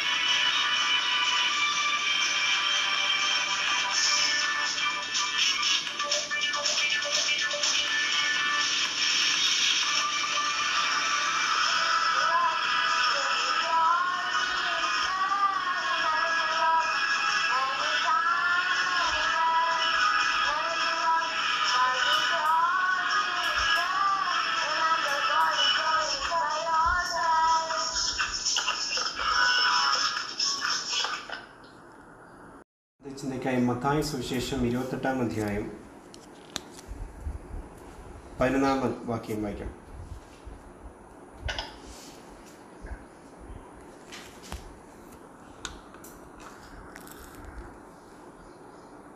അവർ പോകുമ്പോൾ കാവൽക്കൂട്ടത്തിൽ ചിലർ നഗരത്തിൽ ചെന്ന് സംഭവിച്ചതെല്ലാം മഹാപുരോഹിതന്മാരോട് അറിയിച്ചു. അവർ പോകുമ്പോൾ കാവൽക്കൂട്ടത്തിൽ ചിലർ നഗരത്തിൽ ചെന്ന് സംഭവിച്ചതെല്ലാം മഹാപുരോഹിതന്മാരോട് അറിയിച്ചു. ആരാണ് ഈ അവർ കഥാവ് യേശുക്രിസ്തുവിനെ ഉയർത്തെഴുന്നേറ്റപ്പോൾ ആദ്യം കണ്ട ആരാണ്? മന്ദിരക്കാരത്തി മറിയം. മന്ദിരക്കാരത്തി മറിയയും തന്റെ കൂടെ ഉണ്ടായിരുന്ന മറ്റുള്ള സ്ത്രീകളും കടന്നു പോയതിനു ശേഷം അവർ പോകുമ്പോൾ കാവൽ അവർ പോകുമ്പോൾ കാവൽക്കൂട്ടത്തിൽ ചിലർ നഗരത്തിൽ ചെന്ന് സംഭവിച്ച എല്ലാം മഹാപുരോധന്മാർ അറിയിച്ചു. നമ്മൾ തൊട്ട് മേളിൽ വായിച്ചു വരുമ്പോൾ ആ ഭാഗം വ്യക്തമായി മനസ്സിലാകും. എന്ന് വെച്ച് കഴിഞ്ഞാൽ ആ സ്ത്രീകൾ പോയതിനു ശേഷം അവർ പോകുമ്പോൾ കാവൽക്കൂട്ടത്തിലെ കുറച്ച് ചിലർ നഗരത്തിൽ ചെന്ന് സംഭവിച്ചതെല്ലാം മഹോപുരോധനന്മാരോട് അറിയിച്ചു. ഈ കാവൽക്കൂട്ടം എങ്ങനെ അവിടെ വന്നു? അല്ലെങ്കിൽ കാവൽക്കൂട്ടം ആരാണ്? കാവൽക്കൂട്ടം എന്താണ് കണ്ടത്? എന്നാലേ നമുക്ക് ഈ ഭാഗം മനസ്സിലാവുള്ളൂ. കർത്താവ് യേശു ക്രിസ്തു മരിച്ച് അന്നേ ദിവസം രാത്രി നമുക്കറിയാം അരമത്തിലെ യോസേഫ് കൊണ്ട് കർത്താവിനെ അടക്കം അടക്കം ചെയ്തു. അടക്കിയതിന് ശേഷം പിറ്റേന്ന് ഒരുക്കനാളിന്റെ പിറ്റേന്ന് നമ്മളവിടെ ഇരുപത്തിയേഴാം അധ്യായം വായിക്കുമ്പോൾ ആ ഭാഗം വ്യക്തമാക്കി കാണാം. ഇരുപത്തിയേഴാം അധ്യായം ആറാം ഇരു അറുപത്തിരണ്ടാം വാക്യം മുതൽ വായിക്കുമ്പോൾ കാണാം. പിറ്റേ ദിവസം മരിച്ച് കർത്താവ് മരിച്ച് പിറ്റേ ദിവസം തന്റെ ശത്രു കർത്താവിന്റെ ശത്രുക്കൾ അല്ലെങ്കിൽ പരീശന്മാരും ശാസ്ത്രിമാരും മഹോപുരോധന്മാരും എല്ലാവരും അവിടെ ഒരു സംഭാഷണം ഉണ്ടാകുന്ന സംഭവം നമ്മൾ വായിക്കുമ്പോൾ മനസ്സിലാകാം. അവർക്ക് ഓർമ്മ വന്നു കർത്താവ് പറഞ്ഞൊരു സംഭവം. ഞാൻ മരിച്ച് മൂന്നാം നാൾ ഉയർത്തെഴുന്നേൽക്കും. അല്ലെങ്കിൽ മൂന്ന് ദിവസം കഴിഞ്ഞ് ഞാൻ ഉയർത്തെഴുന്നേൽക്കുമെന്ന് അവൻ പറഞ്ഞത് ഞാൻ അവർക്ക് ഓർമ്മ വന്നു. ഓർമ്മ വന്ന ഉടൻ തന്നെ മഹോപുരോധന്മാരും ശാസ്ത്രിമാരും എല്ലാം ഓടിച്ചെന്ന് പീലാത്തോസിനോട് ചെന്നിട്ട് പറയേ പഴയതിനെക്കാട്ടും വേസ്റ്റ് ആവാൻ സംഭവിക്കാതിരിക്കാൻ വേണ്ടി നീ ഞങ്ങൾക്കൊരു ഉപകാരം ചെയ്യണം. ആ അടക്കിയ സ്ഥലം അല്ലെങ്കിൽ ശിഷ്യന്മാരും എല്ലാവരും കൂടെ കൊണ്ടുപോയി അവനെ അടക്കിയ സ്ഥലത്ത് പടയാളികളെ അയച്ച് ആ കല്ലറ മുദ്ര വെച്ച് അടയ്ക്കണം. ഇല്ലെങ്കിൽ പിന്നത്തേതിൽ എന്ത് സംഭവിക്കും എന്ന് പറഞ്ഞു കഴിഞ്ഞാൽ മൂന്നാം നാൾ കർത്താവ് യേശുക്രിസ്തു ഉയർത്തെഴുന്നേൽക്കുമെന്ന് പറഞ്ഞത് കൊണ്ട് ഈ ശിഷ്യന്മാർ തന്നെ അവന്റെ ശരീരം അവിടെ നിർത്തി മാറ്റി വെച്ചിട്ട് പറയും കർത്താവ് യേശുക്രിസ്തു ഉയർത്തെഴുന്നേറ്റു. ഇവിടെ രണ്ട് സംഭവം എന്നെ ഒന്ന് ഓർപ്പിച്ചു. ഒന്ന് മഹോബ്രോധന്മാർ വന്ന് പിലാത്തോസിനോട് പറയുന്നുണ്ട് വ്യക്തമാക്കി പറയുന്നുണ്ട് കർത്താവ് മരിച്ചു എന്ന്. മരിച്ചതിന് ശേഷമാണ് കർത്താവിനെ അടക്കിയതെന്ന്. മഹോപരോധന്മാർക്ക് ശാസ്ത്രിമാരും പരീക്ഷന്മാർക്കും എല്ലാവർക്കും ഒരു കാര്യം അറിയാം. കർത്താവ് ലാസറിനെ ഉയർപ്പിച്ച സംഭവം യഹൂദന്മാരുടെ ഇടയിൽ സംഭവിച്ചത് യോഹനാൻ സുവിശേഷം പന്ത്രണ്ടാം അധ്യായം വായിക്കുമ്പോൾ നമുക്ക് കാണാം. കർത്താവ് മരിച്ചാലെ ഉയർത്തെഴുന്നേൽക്കാൻ നേരത്ത് കർത്താവ് ഇങ്ങനൊരു സംഭവം പറഞ്ഞു. കല്ല് അവിടെ നിന്ന് ഉരുട്ടി മാറ്റാൻ പറഞ്ഞു. കല്ല് ഉരുട്ടാതെ കർത്താവിന് ലാസറിനെ പുറത്തു കൊണ്ടുവരാൻ പറ്റത്തില്ലേ? ഇത് മാനുഷികതയിൽ ചിന്തിച്ചു കഴിഞ്ഞാൽ കർത്താവ് പറഞ്ഞു കല്ല് ഉരുട്ടി മാറ്റാൻ പറഞ്ഞു. കല്ല് ഉരുട്ടി മാറ്റിയതിന് ശേഷമാണ് ലാസർ പുറത്തു വന്നത്. അപ്പോൾ ഈ മഹോപുരോധന്മാർക്കും പരീക്ഷന്മാർക്കും ശാസ്ത്രിമാർക്കും ഒരു ചിന്തയുണ്ട്. ഈ കല്ല് അടച്ചു വെച്ചിരിക്കുകയാണെങ്കിൽ മരിച്ച ആൾ പുറത്തേക്ക് വരത്തില്ല. അല്ലെങ്കിൽ അതുപോലെ മുദ്ര വെച്ച് അടച്ചു വെച്ച് കഴിഞ്ഞാൽ പുറത്തുനിന്ന് ആരും പോയി അത് മാറ്റുകയോ അല്ലെങ്കിൽ തുറന്നു വയ്ക്കുകയോ ചെയ്യാതെ അകത്തുള്ള ഒരു വ്യക്തി അല്ലെങ്കിൽ മരിച്ചൊരു വ്യക്തിക്ക് പുറത്തു വരാൻ പഴുകയില്ല ഇത് മനസ്സിലാക്കിയ ഈ ശാസ്ത്രിമാരും എല്ലാവരും പിലാത്തോസിനോട് അപേക്ഷിക്കുകയാണ് നീ അവിടെ പടയാളികളെയും വെച്ച് മുദ്ര വെച്ച് അടയ്ക്കണം അതാണ് നമ്മൾ ഇരുപത്തേഴാം അധ്യായം വായിക്കുമ്പോൾ കാണാം. എന്റെ അറുപത്തഞ്ചും അറുപത്താറും വായിക്കുമ്പോൾ ഈ ഭാഗം വ്യക്തമായിട്ട് മനസ്സിലാകും. പീലാത്തോസ് അവരോട് കാവൽക്കൂട്ടത്തെ തരാം പോയി നിങ്ങളാലാകുന്നിടത്തോളം എന്ന് പറഞ്ഞു. അവർ ചെന്ന് കല്ലിന് മുദ്ര വെച്ച് കാവൽക്കൂട്ടത്തെ നിർത്തി കല്ലറ ഉറപ്പാക്കി. അവർ ചെന്ന് കല്ലിന് മുദ്ര വെച്ചു കാവൽക്കൂട്ടത്തെ നിർത്തി കല്ലർ ഉറപ്പാക്കി. നമ്മളത് ഭാഗം വായിക്കുമ്പോൾ മനസ്സിലാകും. ആ പടയാളികൾ സാധാരണ പടയാളികളല്ല റോമ സാമ്രാജ്യത്തിന്റെ വലിയ പടയാളികളാണ്. എന്ന് വെച്ച് കഴിഞ്ഞാൽ ഒന്നിനെയും ഭയമില്ലാതെ അത്ര ധൈര്യത്തോടെ നിൽക്കുന്ന പടയാളികളാണ്. ഈ പടയാളികളെ പിലാത്തോസ് ഏൽപ്പിച്ചു കൊടുക്കുകയാണ്. എന്ന് വെച്ചാൽ ഈ പടയാളികളെ കടന്ന് ഒരു വ്യക്തികൾക്കും പോകാൻ സാധിക്കില്ല. നമ്മളത് അപ്പോസ്റ്റൽ പ്രവൃത്തി വായിക്കുമ്പോഴും നമുക്ക് കൊരിന്തിയർ വായിക്കുമ്പോൾ എല്ലാം പത്രോസും പൗലോസും പറയുന്ന ഭാഗങ്ങൾ വായിച്ചാൽ മനസ്സിലാകും. ആ പടയാളികളുടെ മുന്നിൽ ധൈര്യത്തോടെ നിൽക്കുവാൻ ദൈവത്തിന്റെ കൃപയാണ് അവർക്കുണ്ടായിരുന്നത്. അല്ലാതെ പക്ഷം അവർക്ക് അവരുടെ മുന്നിൽ നിൽക്കാനുള്ള ധൈര്യമില്ല. ആ പരിശുദ്ധാത്മാവിന് ശക്തിയാൽ അവർക്ക് നിൽക്കാൻ സാധിച്ചു. എന്ന് വെച്ച് കഴിഞ്ഞാൽ അത്രയും ഭീകരത അല്ലെങ്കിൽ ഭയങ്കരമായ പടയാളികളുടെ മുന്നിലേക്കാണ് കർത്താവ് യേശു ക്രിസ്തുവിനെ അടക്കിയ സ്ഥലത്ത് കർത്താവിനെ പുറത്തേക്ക് വരാതിരിക്കാൻ അല്ലെങ്കിൽ കർത്താവിനെ അടക്കിയ കല്ലറയുടെ മുന്നിൽ നിർത്തിയ പടയാളികൾ. അവിടെ വായിച്ചു വരുമ്പോൾ നമുക്കറിയാം കർത്താവിന്റെ ശത്രുക്കളായവർ ശത്രുക്കൾ കർത്താവിനെ എങ്ങനെ അടച്ചു പൂട്ടി വെക്കാമെന്ന് ചിന്തിച്ചൊരു സംഭവമാണ് നമുക്ക് മനസ്സിലാകുന്നത്. എന്നാൽ കർത്താവിന്റെ ശിഷ്യന്മാർക്ക് പോലും മനസ്സിലാകാത്തൊരു സംഭവം കർത്താവിന്റെ ശത്രുക്കൾക്ക് മനസ്സിലായി. കർത്താവ് പറഞ്ഞൊരു സംഭവം അവർക്ക് ഓർ- ഓർമ്മ വന്നു. അതിന്റെ അറുപത്തിമൂന്നാം വാക്യം വായിക്കുമ്പോൾ മനസ്സിലാകും. ഇരുപത്തിയേഴിന്റെ അറുപത്തിമൂന്ന്. ആ ചതി ആ ചതിയിൽ ജീവനോടിരിക്കുമ്പോൾ മൂന്ന് നാൾ കഴിഞ്ഞിട്ട് ഞാൻ ഉയർത്തെഴുന്നേൽക്കും എന്ന് പറഞ്ഞ പ്രകാരം ഞങ്ങൾക്ക് ഓർമ്മ വന്നു. ഞങ്ങൾക്ക് ഓർമ്മ വന്നു. കർത്താവിന്റെ ശിഷ്യന്മാർക്ക് പോലും ഓർമ്മ വന്ന അല്ലെങ്കിൽ കർത്താവിന്റെ കൂടെ നടന്ന വ്യക്തികൾക്ക് പോലും ഓർമ്മ വരാത്ത സംഭവം കർത്താവിന്റെ ശത്രുക്കൾക്ക് അല്ലെങ്കിൽ കർത്താവിന്റെ ശത്രുക്കളായിരുന്ന പരീക്ഷന്മാരും ശാസ്ത്രിമാരും അവരാൽ കർത്താവിനെ ക്രൂശിപ്പിച്ച ആ ശത്രുക്കൾക്കറിയാം കർത്താവ് പറഞ്ഞൊരു കാര്യം അവർക്ക് ഓർമ്മ വന്നു. ഇത് സംഭവിക്കുമോ എന്നുള്ളൊരു പേടി അവരുടെ മുന്നിലുണ്ടായി. കാരണം കൊന്ന് അവർ കർത്താവിനെ ക്രൂശിച്ചതിനെക്കാട്ടും വലിയൊരു സംഭവമാണ് കർത്താവ് ഉയർത്തിരുന്നിൽക്കുന്നത് ഈ കർത്താവ് ഒരു പാപം ചെയ്യാതെ കർത്താവിനെ ക്രൂശിൽ തറപ്പിച്ചപ്പോഴും ഈ പരീക്ഷന്മാരുടെ അല്ലെങ്കിൽ ശാസ്ത്രിമാരുടെയും അല്ലെങ്കിൽ മഹോപുരോധന്മാരുടെയും ഭയം അവരുടെ മനസ്സിൽ വന്നത് കർത്താവ് പറഞ്ഞൊരു സംഭവത്തിനെ കുറിച്ചാണ്. കർത്താവ് പറഞ്ഞൊരു സംഭവം എന്താണ്? ഞാൻ എന്റെ എന്റെ ഈ ശരീരം അല്ലെങ്കിൽ ഈ ആലയം പൊളിക്കുക. ഞാൻ മൂന്നാം നാൾ അത് പണിതെടുക്കുമെന്ന് കർത്താവ് വ്യക്തമായിട്ട് പറഞ്ഞു. അതുകൂടാതെ തന്നെ കർത്താവ് പരീക്ഷന്മാരോടും എല്ലാവരോടും പറഞ്ഞു ഞാൻ മൂന്ന് നിങ്ങൾ മരിച്ച ഞാൻ മൂന്നാം നാൾ ഉയർത്തെഴുന്നേൽക്കുമെന്ന് വ്യക്തമായിട്ട് പറഞ്ഞു. ഇത് അവരുടെ മേൽ അല്ലെങ്കിൽ കർത്താവിന്റെ ശത്രുക്കൾക്ക് ഇതൊരു ഭയമായിട്ട് അവർ മാറി. അതുകൊണ്ടാണ് പീലാത്തോസിനടുത്ത് വന്ന് കർത്ത അവിടെ വന്ന് പറയുന്നത് പഴയതിനെക്കാട്ടും വേസ്റ്റായി സംഭവിക്കുമെന്ന് ചിന്തിച്ചിട്ട് അവിടെ ആ കല്ലിന് മുദ്ര വയ്ക്കുകയും അതുപോലെ തന്നെ പടയാളികളെ കൊടുത്ത് അവിടെ മുദ്ര വയ്ക്കുകയും നമ്മളവിടെ വായിക്കുമ്പോൾ ഒരു കാര്യം മനസ്സിലാക്കണം. എന്തിനാണ് പടയാളികൾ കർത്താവിന് ഈ പടയാളികളുടെ ആവശ്യമില്ല? നമുക്കറിയാം ആ ഭാഗം വായിച്ച എല്ലാവർക്കും അറിയാം പടയാളികളുടെയോ അല്ലെങ്കിൽ കല്ലറ മുദ്ര വെച്ചതുകൊണ്ടോ കർത്താവിന് ഉയർത്തെഴുന്നേൽക്കാൻ ഇതൊരു തടസ്സമേ അല്ല പക്ഷേ അവിടെ ഒരു സംഭവമുണ്ട്. ആ സംഭവം അറിയാൻ വേണ്ടിയാണ് പതിനൊന്നാം നമ്മൾ ഇരുപത്തെട്ടാം അധ്യായത്തിന്റെ പതിനൊന്നാം വാക്യം വായിച്ചത്. ഒന്നുകൊണ്ട് ആ വാക്യം വായിക്കും.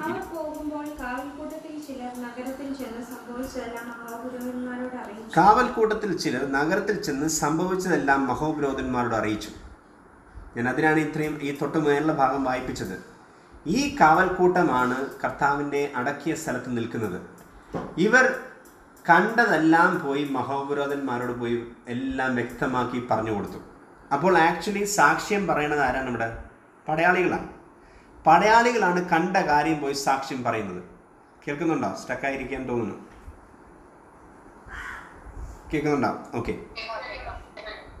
ഇവിടെ ആദ്യം തന്നെ കർത്താവിനെ കുറിച്ചുള്ള ഉയർപ്പിന്റെ സാക്ഷ്യം പോയി പറയുന്നത് പടയാളികളാണ് മഹോപുരോധന്മാരോട് പറയുന്നത്. എന്ന് വെച്ച് കഴിഞ്ഞാൽ യേശു തന്റെ ശിഷ്യന്മാരായ ആരെയും അവിടെ കണ്ടില്ല. താൻ ഉയർത്തെഴുന്നേറ്റപ്പോൾ. മന്ദിരക്കാരത്തി മറിയ കണ്ടു. കർത്താവിനെ ആദ്യമായി കർത്താവിനെ ഉയർത്തെഴുന്നേറ്റ ശേഷം കണ്ടു. കർത്താവും തന്റെ ദൂതന്മാരും നമ്മളവിടെ വായിക്കുമ്പോൾ അഞ്ചാം വാക്യം വായിക്കുമ്പോൾ കാണാം. ദൂതൻ സ്ത്രീകളോട് ഭയപ്പെടേണ്ട. ക്രൂശിക്കപ്പെട്ട യേശുവിനെ നിങ്ങൾ അന്വേഷിക്കുന്നു എന്ന് ഞാൻ അറിയുന്നു. അവൻ ഇവിടെയില്ല താൻ പറഞ്ഞതുപോലെ ഉയർത്തെഴുന്നേറ്റു അവൻ കിടന്ന സ്ഥലം വന്നു കാണുവിൻ. അവൻ മരിച്ചവരുടെ ഇടയിൽ നിന്ന് ഉയർത്തെഴുന്നേറ്റു എന്ന് വേഗം ചെന്ന് അവന്റെ ശിഷ്യന്മാരോട് പറയുവിൻ. ആദ്യം ഇവിടെ സാക്ഷ്യം പറയുന്നവരെ ശ്രദ്ധിക്കണം. മന്ദനക്കാരത്തെ മറിയ കണ്ടു കർത്താവ് യേശു ക്രിസ്തു ഉയർത്തെഴുന്നേറ്റു. എന്നാൽ കർത്താവ് ദൂതൻ മൂലെ ദൂതൻ മുഖാന്തരം മന്ദനക്കാരത്തെ മറിയോട് പറഞ്ഞു പോയി തന്റെ ശിഷ്യന്മാരോട് പറയണം കർത്താവ് യേശു ക്രിസ്തു ഉയർത്തെഴുന്നേറ്റു എന്ന്. എന്നാൽ ഇവർ പോയി പറയുന്നതിന് മുന്നേ അല്ലെങ്കിൽ കർത്താവ് യേശു ക്രിസ്തു ഉയർത്തെഴുന്നേറ്റ ശേഷം മന്ദനക്കാരത്തെ മറിയയ്ക്കും പ്രത്യക്ഷപ്പെട്ടപ്പോഴും യേശുവും മന്ദനക്കാരത്തെ മറിയോടും കൂടെ ഉണ്ടായവരോടും പറഞ്ഞ് പോയി എന്റെ ശിഷ്യന്മാരോട് പറയണം ഗലിയിലേക്ക് കടന്നു വരാൻ. കുറച്ചും കൂടെ വ്യക്തമായിട്ട് പറഞ്ഞു കഴിഞ്ഞാൽ ആദ്യം സാക്ഷ്യം പറഞ്ഞത് മന്ദനക്കാരത്തി മറിയല്ല ആദ്യം കണ്ടത് മാത്രമായിരിക്കാം മന്ദനക്കാരത്തി മറിയ. പക്ഷേ ആദ്യം സാക്ഷ്യം കർത്താവ് ഉയർത്തെഴുന്നേറ്റ കാര്യം പറഞ്ഞത് വേറെ ആരുമല്ല പടയാളികളാണ്. പതിനൊന്നാം വാക്യം വായിച്ചാൽ മനസ്സിലാകും. അവർ പോകുമ്പോൾ കാവൽക്കൂട്ടത്തിൽ ചിലർ നഗരത്തിൽ ചെന്ന് സംഭവിച്ചതെല്ലാം മഹോപുരോധന്മാരോട് അറിയിച്ചു. അവരാണ് ആദ്യം പോയി മഹോപുരോധന്മാരോട് അറിയിച്ചത് ഇങ്ങനൊരു സംഭവം കർത്താവ് യേശുക്രിസ്തു ഉയർത്തെഴുന്നേറ്റത് കാരണം അവർ പോകുമ്പോൾ കാവൽക്കൂട്ടത്തിൽ ചിലർ നഗരത്തിൽ സംഭവിച്ചത് സംഭവിച്ചതെല്ലാം മഹോപുരോധന്മാരോട് പറയണമെങ്കിൽ സംഭവിച്ചതെല്ലാം കണ്ടിരിക്കണം അവർ. സംഭവിച്ചതെല്ലാം കണ്ടത് മാത്രമേ അവർക്ക് പറയാൻ സാധിക്കുള്ളൂ കാരണം അവർ കണ്ടത് എന്താണ് ഇരുപത്തെട്ടാം അധ്യായത്തിൽ നാലാം വാക്യം വായിക്കാൻ മനസ്സിലാവും കാ- കാവൽക്കാർ അവനെ കണ്ട് പേടിച്ചു വിറച്ച് മരിച്ചവരെ പോലെയായി. അപ്പോൾ കാവൽക്കൂട്ടത്തിൽ എന്ത് കണ്ടു അവർ? ഈ കല്ലറ പൊട്ടുന്നതും അവിടെ ഒരു ഒരു ദൂതന്മാർ കടന്നു വരുന്നതും ദൈവം യേശു ക്രിസ്തു അവിടെ ഉയർത്തെഴുന്നേൽക്കുന്ന ഒരു സംഭവം അവിടെ നടക്കുന്നത് അവിടെ അവർ അറിയുന്നുണ്ട്. ഒന്നും വേണ്ട. യേശു ഉയർത്തെഴുന്നേറ്റത് കണ്ടതായിട്ട് അവിടെ എഴുതിയിട്ടില്ല. പക്ഷേ ഒരു സംഭവം അവിടെ എഴുതിയിട്ടുണ്ട്. മൂന്നാം വാക്യത്തിൽ ഇങ്ങനെ എഴുതിയിരിക്കുന്നു. അവന്റെ രൂപം മിന്നലിനൊത്തതും അവന്റെ ഉടുപ്പ് ഹിമം പോലെ വെളുത്തതുമായിരുന്നു. ആ. ഇത് കണ്ട ഉടനെ അപ്പൊ ഇത് കണ്ടതുകൊണ്ടാണല്ലോ അവിടെ എഴുതിയിരിക്കുന്നത്. ഇത് കണ്ട ഉടനെ കാവൽക്കാർ അവനെ കണ്ടു പേടിച്ചു വിറച്ചു മരു മരിച്ചവരെ പോലെയായി. അപ്പോൾ അവരെന്താണ് കണ്ടത്? ദൈവ കർത്താവ് യേശു ക്രിസ്തുവിനെ അടക്കിയ ഭാഗം അല്ലെങ്കിൽ അടക്കിയ കല്ലറ അവിടെ പൊട്ടി. അല്ലെങ്കിൽ കല്ലറ ഉരുട്ടി മാറ്റിയതിനു ശേഷം അവിടെ അവിടെ കണ്ടത് അവന്റെ രൂപം മിന്നലിനൊത്തതും അവന്റെ ഉടുപ്പ് ഹിമം പോലെ വെളുത്തതുമായിരുന്നു. ഇത് കണ്ട പടയാളികൾ കണ്ട് പേടിച്ച് ഭയന്ന് മരിച്ചവരെ പോലെയായി. അപ്പോൾ പടയാളികൾ കണ്ടത് വ്യക്തമാക്കി സംഭവം വചനത്തിൽ എഴുതിയിട്ടുണ്ട്. ഈ കർത്താവ് യേശു ക്രിസ്തു ആണെന്ന് അവർക്കറിയത്തില്ല. പക്ഷെ ഒന്നറിയാം അവിടെ എന്തോ സംഭവിച്ചു. അവിടെ മിന്നൽ പോലെ വെളു വെളുത്തതായ ഒരു രൂപം അല്ലെങ്കിൽ അത്രയും ഒരു പ്രത്യക്ഷപ്പെടുന്ന ഒരു സംഭവം ഈ പടയാളികൾ കണ്ട് പേടിച്ച് ഭയന്ന് മരിച്ചവരെ പോലെ ആകണമെങ്കിൽ അവർ കണ്ടത് അവരുടെ കണ്ണുകൊണ്ട് കണ്ടത് സത്യം തന്നെയാണ്. ഇതാണ് ആ പതിനൊന്നാം വാക്യത്തിൽ എഴുതിയിരിക്കുന്നത്. അവർ പോകുമ്പോൾ കാവൽക്കൂട്ടത്തിൽ ചിലർ നഗരത്തിൽ ചെന്നത് സംഭവിച്ചതെല്ലാം മഹോര പുര- പുരോഹിതന്മാരോട് അറിയിച്ചു. അങ്ങനെ അവർ കണ്ട കാര്യം പോയി പറയണമെങ്കിൽ കണ്ട സത്യം എന്താണെന്ന് അവർ കണ്ടിട്ടുണ്ട്. അത് മഹോപുരോധന്മാർ അറിയുവാനും ഇടയായി. മൂന്ന് ദിവസത്തിന് മുന്നേ അല്ലെങ്കിൽ കർത്താവ് യേശുക്രിസ്തു മരിച്ചതിന്റെ പിറ്റേ ദിവസം പിലാത്തോസിനോട് വന്ന് സംശയകരമായി പറഞ്ഞ സംഭവം ഈ പടയാളികൾ മുഖാന്തരം ഈ മഹോപുരോധന്മാരും ശാസ്ത്രിമാരും എല്ലാവരും അറിഞ്ഞു ഈ സത്യം എന്താണെന്ന്. കർത്താവ് പറഞ്ഞതുപോലെ ഉയർത്തെഴുന്നേറ്റു എന്നുള്ള വ്യക്തത കൃത്യമായി മനസ്സിലാക്കി. അത് ഈ കണ്ടവരുടെ കണ്ണിൽ കണ്ട സത്യം വിളിച്ചു പറയത്തക്ക രീതിയിൽ ഈ പടയാളികളെ കൊണ്ട് തന്നെ ഈ സാക്ഷ്യം പറഞ്ഞു. ഞാൻ ആ ഭാഗം വായിച്ചപ്പോൾ എന്നെ ഒരുപാട് ചിന്തിപ്പിച്ചു. ഈ പടയാളികളെ ഈ മഹോപുരോധന്മാർ അല്ലെങ്കിൽ ഇവരെ കൊണ്ട് ചെയ്യിപ്പിച്ചതാണ് ദൈവം. കാരണം വേറെ ഒന്നുമല്ല ഈ മഹോപുരോധന്മാർക്ക് ഒരു സംശയം ഉണ്ടായിരുന്നു ശിഷ്യന്മാർ അവിടെ വായിക്കുമ്പോൾ ഇങ്ങനെ കാണാം. ഇരു അറുപത്തി ഇരുപത്തേഴാം അധ്യായത്തിൽ അറുപത്തി മൂന്നാം വാക്യത്തിൽ ഇങ്ങനെ എഴുതിയിരിക്കുന്നു. സോറി അറുപത്തിനാലാം വാക്യത്തിൽ ഇങ്ങനെ എഴുതിയിരിക്കുന്നു. അവൻ മരിച്ചവരുടെ ഇടയിൽ നിന്ന് എന്ന് ജനം പറയുകയും അവരുടെ സംശയമാണ് അവിടെ എഴുതിയിരുന്നത്. ആദ്യം വായിക്കുമ്പോൾ മനസ്സിലാക്കണം അവരുടെ സംശയമാണ് ഇങ്ങനെ പടയാളികളെ വെച്ചില്ലെങ്കിൽ എന്ത് സംഭവിക്കും? പിന്നത്തേതിൽ ഈ ശരീരം കർത്താവിന്റെ ശിഷ്യന്മാർ ഈ ശരീരം എടുത്തുകൊണ്ട് പോവുകയും ശരീരം എടുത്തുകൊണ്ട് പോയിട്ട് പറയും കർത്താവായ യേശു ക്രിസ്തു ഉയർത്തെഴുന്നേറ്റെന്ന്. അതുകൊണ്ട് നീ പടയാളികളെ വിട്ടു തരണം അവിടെ ആ കല്ലറയെ ഉറപ്പിക്കണം. ദൈവം അനുവദിച്ചിട്ടാണ് ചില സമയത്ത് ശത്രുക്കൾ നമുക്ക് വേണ്ടി ചില സമയത്ത് പടയാളികളായി ഈ അടഞ്ഞ സ്ഥലത്ത് പിന്നെയും കൊണ്ട് മുദ്ര വയ്ക്കുന്നത് ദൈവം ദൈവം അറിയാതല്ല ഈ അടയുന്നത്. ഈ അടഞ്ഞതിനെ കുറച്ചും കൂടെ അടപ്പിക്കുന്നത് ദൈവം അറിഞ്ഞിട്ട് തന്നെയാണ് ഈ അടയ്ക്കുന്നത്. വേറെ ഒന്നിനുമല്ല. ഈ പടയാളികളെ കൊണ്ട് ശത്രുക്കളുടെ മുന്നിൽ മേശൊരുക്കുന്ന ഒരു ദൈവമാണ്. നമ്മൾ എപ്പോഴും മനസ്സിലാക്കണം ഈ ശത്രുക്കളെ കൊണ്ട് തന്നെയാണ് കർത്താവ് ഈ ശത്രുക്കളെ കൊണ്ട് തന്നെയാണ് ഈ പടയാളികളെ അവിടെ വെപ്പിക്കാനും ഇടയാക്കിയത്. അതുപോലെ തന്നെയാണ് ഈ കല്ലറയെ മുദ്ര വെപ്പിച്ചത്. എന്നാൽ ഈ ഈ ശത്രുക്കൾക്ക് ഈ ശത്രുക്കൾക്ക് ഉണ്ടായിരുന്ന സംശയം തന്നെയാണ് ദൈവത്തിന്റെ പ്രവൃത്തി അവിടെ നടക്കാനിടയാവുന്നത് ശത്രുക്കളുടെ സംശയം ശിഷ്യന്മാരെ എടുത്തുകൊണ്ട് പോകും എന്നുള്ളൊരു ചിന്തയായിരുന്നു. എന്നാൽ അവരുടെ മുന്നിൽ സത്യം വെളിപ്പെടുത്തി കൊടുക്കണം എന്ന് ശത്രുക്കളുടെ മുന്നിൽ സത്യം വെളിപ്പെടുത്തി കൊടുക്കാൻ അവർ നിയമിച്ച അല്ലെങ്കിൽ അവർ കൊണ്ടുവച്ച ഈ പടയാളികളെ കൊണ്ട് തന്നെയാണ് അവർ സാക്ഷ്യം കേൾക്കുന്നത് പതിനൊന്നാം വാക്യത്തിൽ. ഈ പടയാളികൾ തന്നെയാണ് ഈ മഹോപുരോധന്മാരോട് ഒന്ന് പറയുന്നത് ഞങ്ങൾ കണ്ടു. നിങ്ങൾ സംശയിച്ചതുപോലെ തന്നെ ദൈവത്തിന്റെ പ്രവൃത്തി അവരുടെ ജീവിതത്തിൽ കണ്ടു. അവിടെ അവർ ദൈവത്തിന്റെ മഹത്വം അവർ കാണാനിടയായി. ദൈവത്തെ ഒരിക്കലും അല്ലെങ്കിൽ യേശു ക്രിസ്തുവിനെ ഒരിക്കലും ആർക്കും അടച്ചു വെക്കാൻ കഴിയില്ല. യേശുവിന്റെ പ്രവൃത്തിക്ക് ആർക്കും അടച്ചു വെക്കാൻ സാധിക്കില്ല എല്ലാവരും കൂടി ശ്രമിച്ചതുപോലെ പടയാളികൾ ശ്രമിച്ചതുപോലെ എല്ലാം ശ്രമിച്ചിട്ടും ദൈവത്തിന്റെ പ്രവൃത്തിക്ക് അതിനൊരു തടസ്സമേ ഉണ്ടായില്ല. എന്നാൽ അവിടെ വായിച്ചു വരുമ്പോൾ ഒരു സംഭവം വ്യക്തമാക്കി മനസ്സിലാക്കണം. കർത്താവിന്റെ പ്രവൃത്തിയെ തടസ്സപ്പെടുത്തുവാൻ അല്ലെങ്കിൽ ദൈവത്തിന്റെ മഹത്വത്തിനെ തടസ്സപ്പെടുത്താൻ മനുഷ്യർക്ക് അല്ലെങ്കിൽ മഹോപരോധന്മാർ അല്ലെങ്കിൽ കർത്താവിന്റെ ശത്രുക്കൾ ശ്രമിച്ചിട്ട് പോലും അത് ദൈവം തടസ്സപ്പെടുത്താൻ സമ്മതിക്കാതെ. അത് ദൈവത്തിന്റെ പ്രവൃത്തി കർത്താവ് പറഞ്ഞതുപോലെ അല്ല ഉവ എന്ന് പറഞ്ഞാൽ ഉവ എന്ന് പറഞ്ഞതുപോലെ തന്നെ ദൈവത്തിന്റെ പ്രവൃത്തി മൂന്നാം നാൾ അവൻ ഉയർത്തെഴുന്നേൽക്കുമെന്ന് പറഞ്ഞു കഴിഞ്ഞാൽ അതുപോലെ തന്നെ സംഭവിക്കും. അതിനിനി ഏത് പടയാളികളെ കൊണ്ടുവച്ചാലും എത്ര വലിയ റോമാ സാമ്രാജ്യത്തിലെ പടയാളികളാണെങ്കിൽ പോലും അവിടെ കൊണ്ടുവച്ചാലും ദൈവത്തിന്റെ പ്രവൃത്തിക്ക് അതൊരു തടസ്സമല്ല. കർത്താവ് പറഞ്ഞിട്ടുണ്ടെങ്കിൽ അത് അവൻ മൂന്നാം നാൾ ഉയർത്തെഴുന്നേൽക്കുമെന്ന് പറഞ്ഞാൽ മൂന്നാം നാൾ അവൻ ഉയർത്തെഴുന്നേൽക്കും. അതിന് മനുഷ്യരാൽ തടസ്സപ്പെടുത്താൻ ആർക്കും സാധിക്കില്ല അവർ ചിന്തിച്ചതുപോലെ തന്നെ അല്ലെങ്കിൽ ശത്രുക്കൾ ചിന്തിച്ചതുപോലെ തന്നെയാണ് ദൈവത്തിന്റെ പ്രവൃത്തി അവിടെ നടക്കാനിടയാകുന്നത്. എന്നാൽ ദൈവത്തിന്റെ പ്രവൃത്തി നടന്നതിന് ശേഷം ആ സോൾജേഴ്സിന് അല്ലെങ്കിൽ ആ പടയാളികളെ കൊണ്ട് തന്നെയാണ് അവർ സാക്ഷ്യം അവർ കേൾക്കാനിടയായി. എന്ന് വെച്ച് കഴിഞ്ഞാൽ അവിടെ സത്യം അവർക്ക് മനസ്സിലായി. അവിടെ പന്ത്രണ്ടാം വാക്യം ഇങ്ങനെ വായിക്കുന്നു. അതിന്റെ പന്ത്രണ്ടാം വാക്യം വായിക്കും ഇരുപത്തെട്ടിന്റെ പന്ത്രണ്ട്. പടയാളികൾക്ക് വേണ്ടുവോളം പണം കൊടുത്തു. പണയം കൊടുത്തു പണം കൊടുത്തു. കാരണം എന്താ? സത്യം അവർക്ക് തിരിച്ചറിഞ്ഞു. സത്യം വ്യക്തമായിട്ട് മഹോപുരോധനന്മാർക്ക് മനസ്സിലായി. കർത്താവ് യേശുക്രിസ്തു ഉയർത്തെഴുന്നേറ്റു. പടയാളികൾ കണ്ടതും സത്യം തന്നെയാണ്.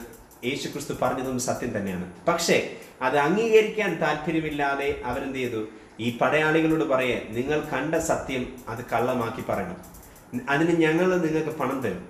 ഈ ചില സമയത്ത് നമുക്കറിയാം പണം ചിലത് നല്ലതിനും ഉപയോ- ഉപകരിക്കും ചിലത് തിന്മയ്ക്കും ഉപകരിക്കും. ഇവിടെ പടയാളികൾക്ക് കൊടുക്കുന്ന പണം കണ്ട സത്യത്തെ മൂടി വയ്ക്കുവാൻ അല്ലെങ്കിൽ കണ്ട സത്യത്തെ മൂടി വെച്ച് അത് അത് തിന്മയ്ക്കായി പറയുവാൻ അല്ലെങ്കിൽ കള്ളം പറയുവാൻ വേണ്ടി പണം കൊടുക്കുകയെ പടയാളികൾക്ക്. നല്ലതിന് വേണ്ടി അല്ലെങ്കിൽ ദൈവനാമോഹത്തിന് വേണ്ടി സാക്ഷ്യം പറയേണ്ട ഒരു പടയാളികൾ അല്ലെങ്കിൽ ദൈവത്തിന്റെ പ്രവൃത്തി കണ്ടെന്ന് പറയേണ്ട പടയാളികൾ അല്ലെങ്കിൽ കണ്ട കാര്യം പോയി മഹോപുരോധന്മാരോട് പറഞ്ഞപ്പോൾ ആ കണ്ട സത്യം വിളിച്ചു പറയാൻ പറ്റാതെ അവർക്ക് പണം കൊടുത്ത് അവരെ മൂടി വെക്കുകയും സത്യത്തെ മൂടി വെക്കാൻ ഇന്ന് ലോകത്തെ എല്ലായിടത്തും നമുക്ക് കാണാൻ സാധിക്കുകയെന്നാണ് പണം കൊടുത്ത് അതങ്ങ് മൂടി വെക്കും.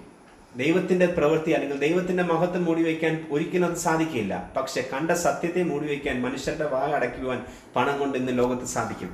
ഈ സത്യം കണ്ട ഈ പടയാളികൾ പോയി സത്യം വിളിച്ച് മഹോപുരോധന്മാരോട് പറഞ്ഞപ്പോൾ ഇത് സത്യമാണെന്ന് മനസ്സിലാക്കിയ മഹോപുരോധന്മാർ നിങ്ങൾ നുണ പറയണം അല്ലെങ്കിൽ നിങ്ങൾ കള്ളം പറയണം മറ്റുള്ളവരോട് നിങ്ങൾ പറയണം നിങ്ങൾ കണ്ടത് ഇങ്ങനെയാണ്. അതെന്താ കണ്ടത്? ശിഷ്യന്മാർ വന്ന് അത് കർത്താവിന്റെ ശരീരം എടുത്തുകൊണ്ട് പോയി. നിങ്ങൾ ഉറങ്ങിയ സമയത്ത് വന്ന് എടുത്തുകൊണ്ട് പോയി. കണ്ട സത്യം വിളിച്ച് പറയരുത്. ഇതാണ് ശത്രുക്കളുടെ ഏറ്റവും വലിയ ആഗ്രഹം. നമ്മൾ അറിഞ്ഞിരിക്കേണ്ട ഒരു സത്യം ഇതാണ്. കർത്താവിന്റെ സത്യം അല്ലെങ്കിൽ കർത്താവ് നമ്മളെക്കുറിച്ച് ആഗ്രഹിക്കുന്ന ആ സത്യം മറ്റുള്ളവരുടെ അടുത്തിൽ എത്തിക്കാൻ ദൈവം ആഗ്രഹിക്കുന്ന പോലത്തെ സത്യം അല്ലെങ്കിൽ ദൈവം അറി നമ്മളെ കൊണ്ട് പറയാൻ വേണ്ടി ആഗ്രഹിക്കുന്ന സത്യം മറ്റുള്ളവരിലേക്ക് എത്തിക്കുവാൻ ആഗ്രഹിക്കുമ്പോൾ അത് മൂടി വയ്ക്കാൻ ശത്രുക്കൾ അത് ശ്രമിക്കും. അത് അല്ലെങ്കിൽ ദൈവത്തിന്റെ പ്രവൃത്തി മൂടി വയ്ക്കുവാൻ ശത്രുക്കൾ അത് ശ്രമിക്കും. ഒരിക്കലും അത് സംഭവിക്കാതിരിക്കാൻ ആഗ്രഹിക്കുന്ന ശത്രുക്കൾ ഇന്ന് ചുറ്റുവട്ടം ഉണ്ടാകും. പക്ഷെ ദൈവത്തിന്റെ പ്രവൃത്തിക്കോ ദൈവത്തിന്റെ മഹത്വത്തിനോ അതിന് ആർക്കും ഒരു തടസ്സപ്പെടാൻ സാധിക്കില്ല. ഇവിടെ വായിച്ചു വരുമ്പോൾ നമുക്ക് രണ്ട് കാര്യം മനസ്സിലാക്കാം. ശത്രുക്കൾ അത് മൂടി വയ്ക്കാൻ ശ്രമിച്ചു. അത് എത്രത്തോളം അത് മൂടി വയ്ക്കുകയും പടയാളികളെ കൊണ്ട് അത് എത്രത്തോളം അത് കാവൽക്കാരെ വെച്ച് വെച്ച് നോക്കിയാൽ പോലും ദൈവത്തിന്റെ പ്രവൃത്തിക്ക് അതൊരു തടസ്സമേ അല്ല. എന്നാൽ മനുഷ്യർ കാണുന്ന പോലെ അല്ല സത്യം. മനുഷ്യർ കേട്ടതുപോലെ അല്ല സത്യം. എന്നാൽ കണ്ട സത്യത്തിന് മൂടി വയ്ക്കുവാൻ വേണ്ടി പണം കൊടുത്ത് മൂടി വയ്ക്കുന്ന ജനത്തെ നമുക്ക് കാണാൻ സാധിക്കുന്നു. നമ്മൾ അറിയേണ്ട ഒരു സത്യമുണ്ട്. ദൈവത്തിന്റെ പ്രവൃത്തിക്ക് ഒരിക്കലും പണത്തെ കൊണ്ട് സാധിപ്പിക്കില്ല. അതുകൊണ്ട് കർത്താവ് പിന്നത്തേതിൽ താൻ തെരഞ്ഞെടുത്ത ശിഷ്യന്മാരെ കൊണ്ട് ഈ സത്യം അനേകർ അറിയുവാൻ തക്ക രീതിയിൽ ദൈവത്തെ സാക്ഷീകരിക്കാൻ അവർക്കിടയായി. എന്നാൽ പടയാളികൾ കണ്ട സത്യ എന്താണ് അവരവിടെ കണ്ടത്? നമ്മളോട് വായിച്ച പതിനൊന്നാം വാക്യത്തിൽ ഇങ്ങനെ എഴുതിക്കുന്നു. അവർ പോകുമ്പോൾ ഈ മന്ദലക്കാരത്തി മറിയെ അവരെല്ലാവരും പോയി പോയതിനു ശേഷം കാവൽക്കൂട്ടത്തിൽ ചിലർ നഗരത്തിൽ ചെന്ന് സംഭവിച്ചതെല്ലാം മഹോപുരോധന്മാരോട് പറഞ്ഞു.